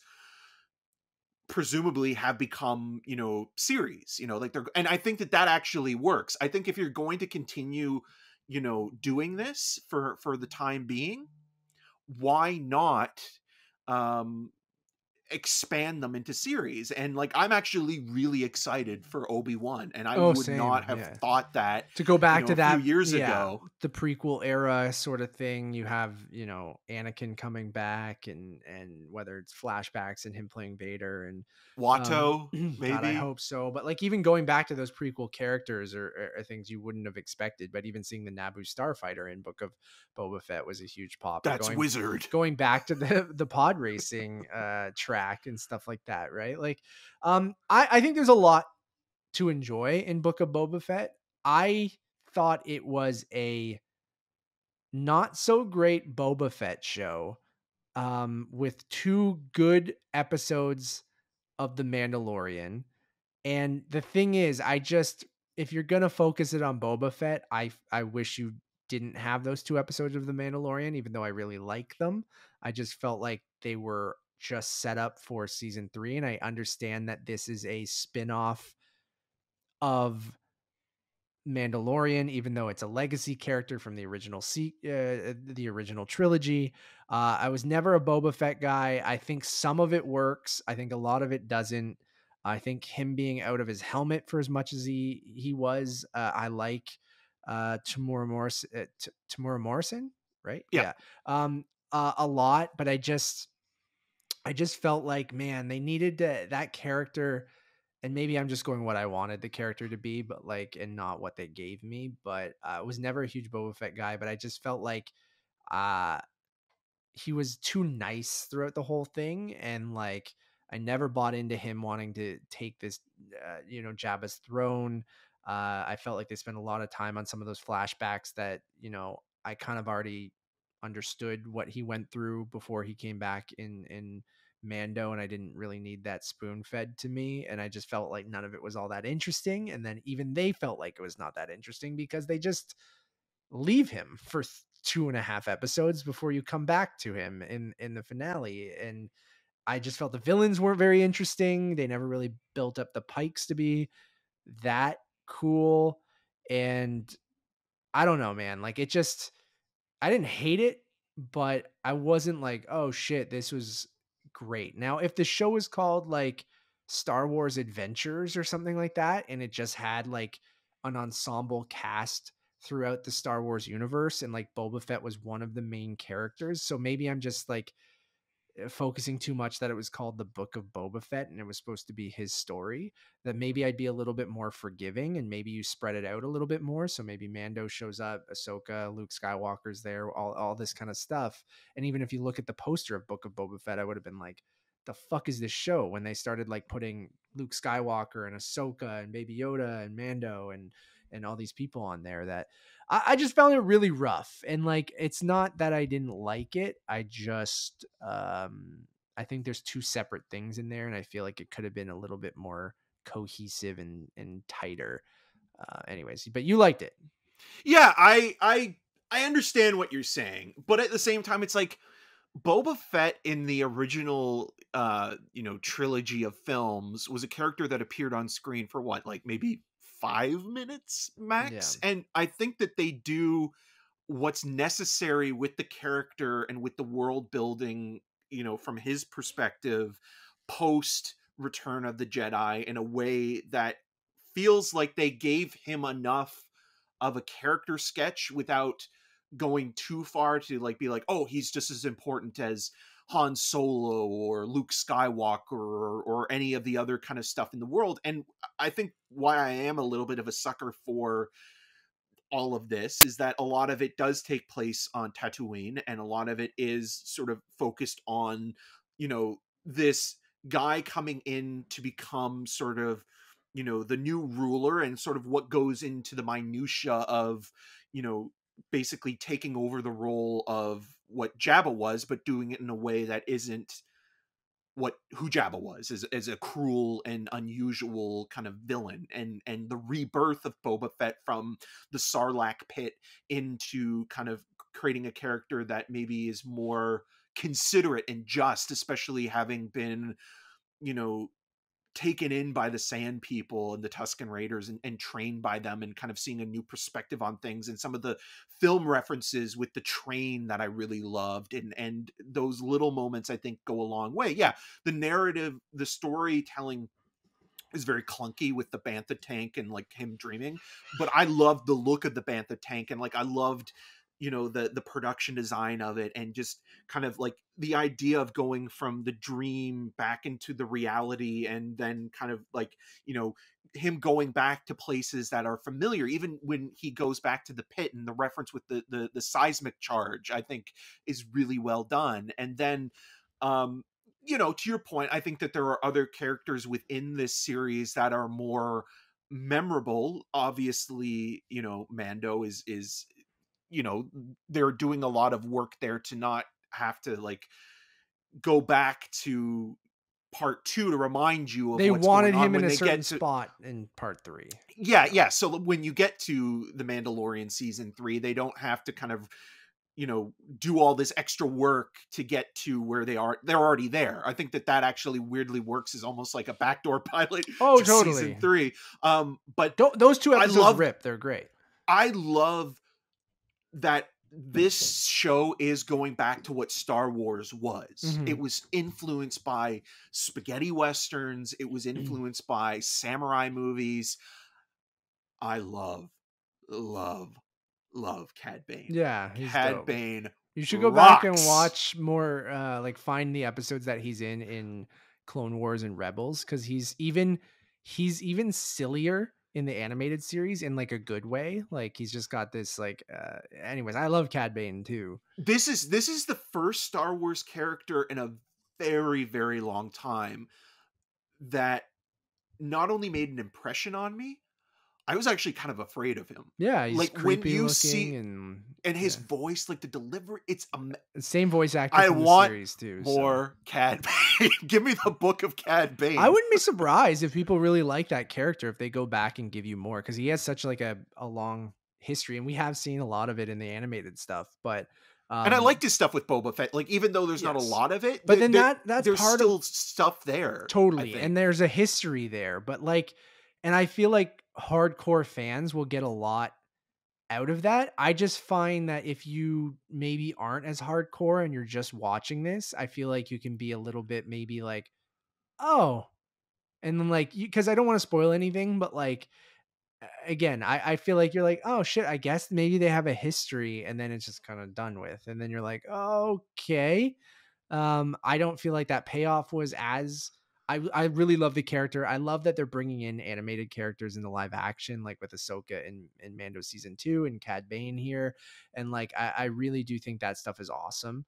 And I think his look is great, his voice is great. They really, you know, I it's a character you wouldn't think would work because it is a bit silly, like this space cowboy, blue face, like ridiculous hat, like full on western, like got the the revolver kind of thing. But um, oh, Cad Bane just- fucks. yeah, he's awesome. He's he's super dope. Yeah. So again, don't get me wrong.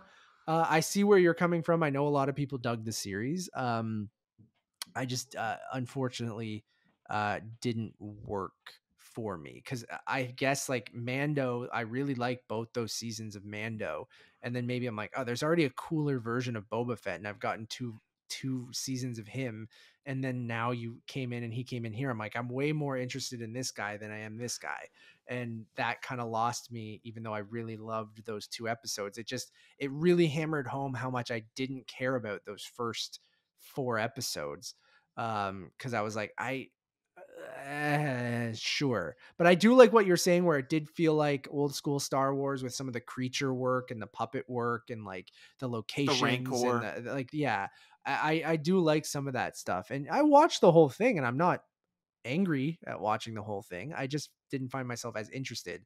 And then it did make me excited for Mando season three. Now, my question to you, Eric, do you think we get another season of Boba Fett, or is he just going to be a part of Mando moving forward? Well, I think he'll he'll definitely be in in season three of Mando somewhere. Um, I I wouldn't be surprised if they try to do another season of the book of of Boba Fett because of Pedro Pascal's schedule, where like you might have this opportunity now to. But now I think maybe because we've seen that first season of the Book of Boba Fett, and it's not necessarily all about Boba Fett, maybe those expectations moving forward will kind of be a little bit more um, forgiving of of like okay maybe it's going to explore aspects of Boba Fett but it's also going to bring in other Yeah. characters as well and like even seeing people like Stephen Root show up yeah. you know in, in one episode is is kind of delightful and and, and funny and um I like all the casting that Favreau and and Filoni and Robert Rodriguez in here. Filoni's no baloney Like even seeing Danny Trejo show up as the Rancor, As a tra- Rancor trainer. is awesome. It's amazing. Like, it's great because it's not something I'd ex- I would have expected. and then Sophie Thatcher, who's in Yep. both um, the Book of Boba Fett and and Yellow Jackets, is playing one of the the the mod um, uh, bikers. Like, yeah, there's like there's a lot of there's a lot of fun stuff in here that kind of reminded me of why I loved it so much as a kid. But I do agree with you though as well, where like even though I like Boba Fett, I do think Mando is a better character Mhm. because Mando, even in that first season when we were introduced to him, there was more time to develop him, and he wasn't based on something that was already pre-existing, right? So you could take a character, you know, from scratch and kind of mold him in a way that you know works for the tone of his Yeah. show where book of boba fett like tonally speaking there are times where it is very childlike and then there are other moments where it is very dark and you're kind of like thinking to yourself okay like is this really for younger kids? Because there is a lot of goofy kind of like slapsticky stuff that's kind of fun when you know the the raiders take uh, boba fett under uh, their wing and kind of train him and like you know him hanging out with the kids but then like there's stuff that kind of goes really really dark with the pikes and and I, I weirdly thought about like your dad as well like would he fish for for these for these pikes in this universe um that'd be amazing it's like he your dad's the one that solves uh, the Yeah, problem there dad's but ice fishing right now, actually. for for the pikes um but like yeah like it's just like tonally sometimes i do question star wars where it's like i think it is always made for all audiences but there are some stuff where it is like you can tell like you know kids do like jar jar binks or you know Oh, the totally. adults really like And I think that's why it's so divisive. characters. Like that's why I think it's so divisive a lot of the times too, because like it is especially to- now yeah. like being a star wars fan like is a bit I- exhausting. it's it's exhausting but it's also like I- i hate like i love star wars and i would consider myself a star wars fan but like it comes with this like this smudge this toxic kind of of, yeah the, of everything that's gone Mhm. on in the last 20 odd years where there's this self-entitlement there's this kind of misogyny um racism that all underlines it which star wars itself is none of that Yeah, I it's know. what the fans have brought to it and not all fans everyone has to there's a- remember it's just fucking TV and movies. Like it doesn't mean Yeah. that much. Like just and it's it- not yours again. you don't I, I own it I didn't love Book of Boba Fett. I liked some stuff of it. I don't care. Like it's just like I'll watch the next thing. If it doesn't work for you, it doesn't work for you. I think people just need to chill the fuck out. And I mean that's uh, it's a longer conversation, and that goes to every fandom. Um, toxic fandom, I think, is the weirdest thing. Like who cares? There's so many things that I love, and if they don't do something that I that I really didn't like or betrays the characters or whatever the fuck, one, it's your opinion. It's not fact. Two, who cares? Just move on. Either watch the next thing, see if that works for you, or stop watching it. Like you don't it, they don't owe you anything. Like yeah, you're the No. one if you don't like something, the the best thing you can do is not give them your money. Like if you don't like it, like complaining and all this shit just makes you look awful and like en- entitled and like it's just so stupid because it doesn't really matter in the grand scheme of things. If you don't like something, do not pay them for it. And if you don't like it, stop watching it. find something else that you do like. It's that And- simple. and none of these creators are personally attacking you or your childhood like this isn't some sort of like revenge or something like that or to tarnish what you grew up with and loved you Yeah. can still love all of that stuff and they're not assaulting you in any way they're just If anything, they liked it as much as you did, and they're just trying Yeah. to make something new.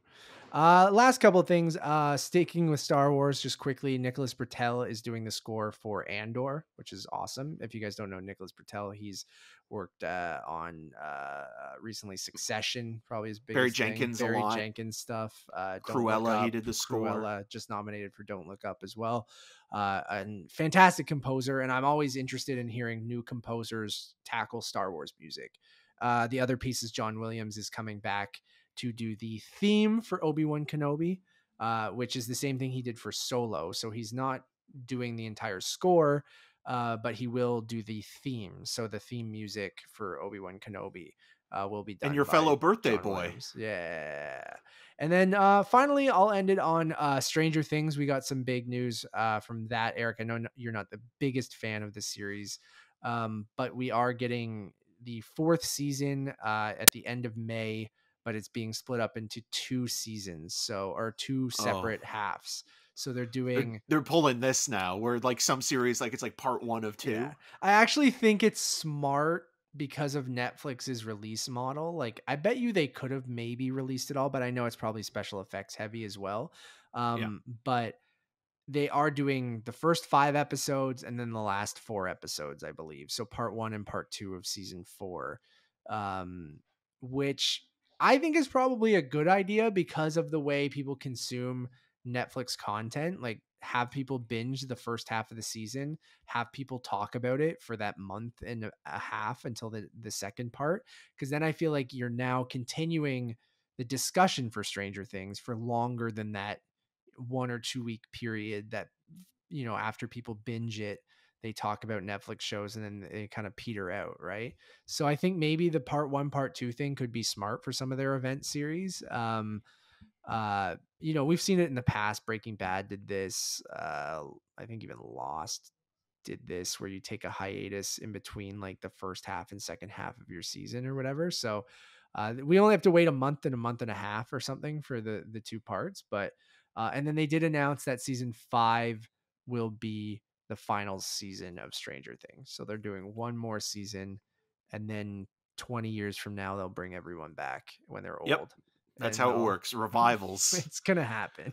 Oh yeah, Yeah, um, but that also might be a reason why they're they're dividing it into two because they they have you know at least a season and a half to play with for a little bit longer than just kind of dumping it all at once, letting it you know be absorbed in one way or another, and they can say, okay, well we have you know season four part two on the way, and you know even though season five's our last one, we still have you know half of a season to go that people can look forward to. Yeah. and- So first part is May 27th, uh, with volume two on July 1st.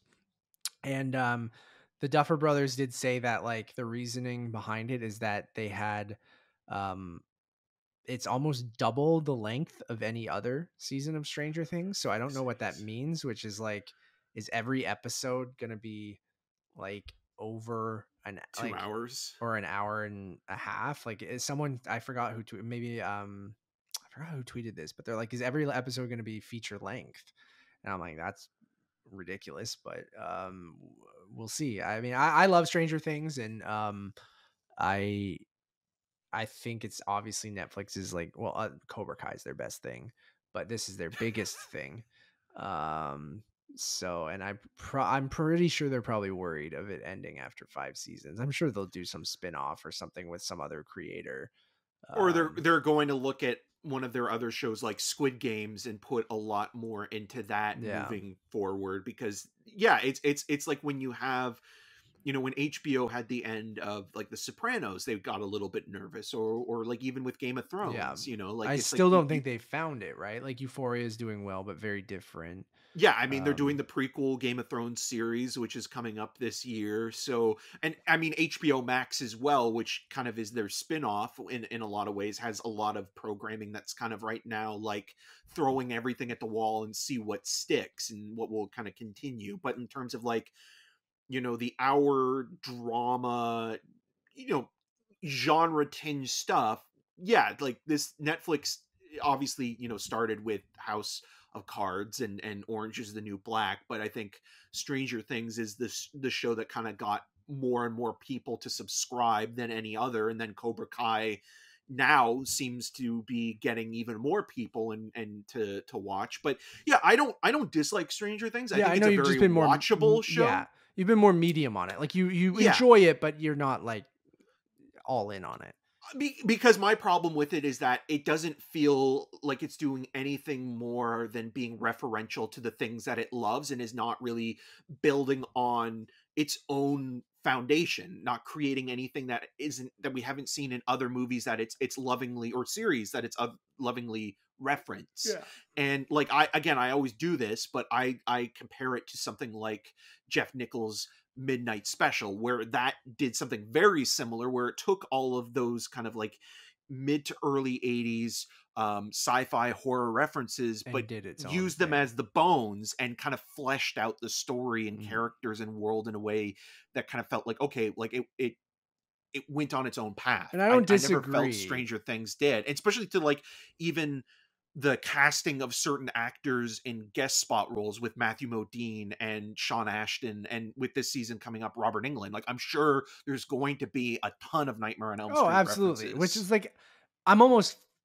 That's what I expect from Stranger Things. It's popcorn entertainment for me. Uh, I don't think it's like, and I think the characters are great and stuff like that. But um, I don't disagree with anything that you're saying, and I totally understand that. And um, but to me, it is that kind of summer.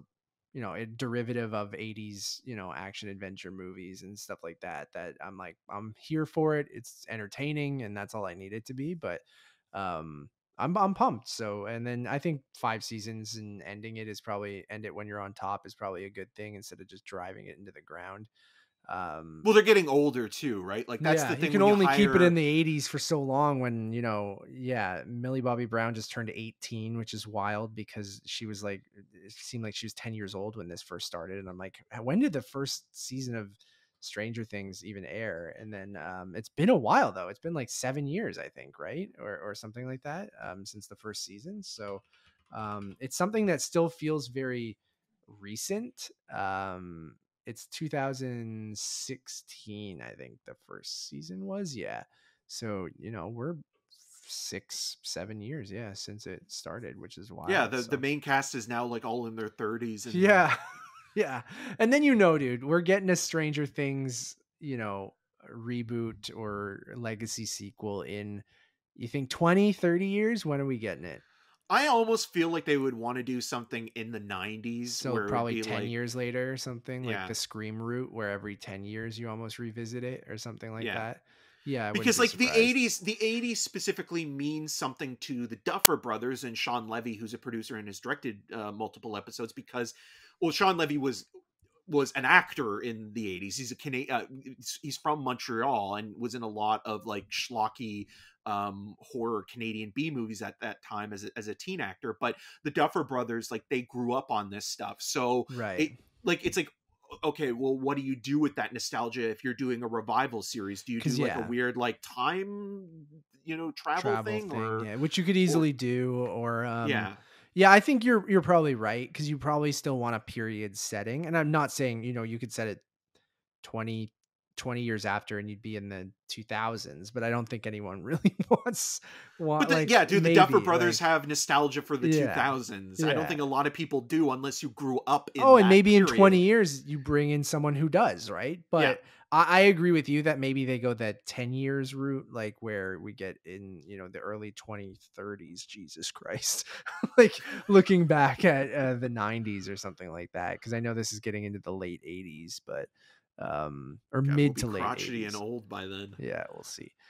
Anyways, thanks everyone. Uh, this has been your 116th episode of the Untitled Movie Podcast. We hope you enjoyed. Uh, thanks for sticking around. Another longer episode. We're back to our bullshit.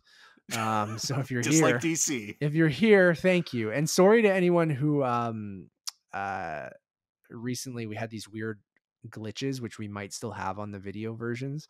Um it's something in the back end of after I render a video uh, there's this weird kind of popping or hissing digital noise sound in in the video version, which we were using for the audio version, but now I'm getting behind the scenes, but it should be fixed on the audio side. So you should have a nice clean audio. And then on the video side, I'm still trying to figure shit out. So if you if you go deaf um because a loud noise, I, I really do apologize. Um I'm being facetious. I hope no one hurts their ears, but it is an annoying sound.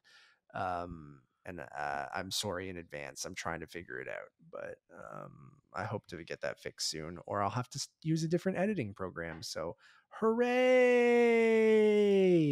Um, if you like this, we have other shows that we would love for you guys to check out. Um, as we mentioned, we do a show called Untitled Movie Reviews, uh, where we review uh, new release films, usually on a weekly basis, sometimes multiple times per week. It's been a little slower uh, to start the year. We reviewed a lot of uh, movies, uh, sorry, a lot of streaming TV shows at the beginning of the year. So we reviewed Peacemaker, The After Party, uh, Murderville, Pam and Tommy. So you guys can check out all those.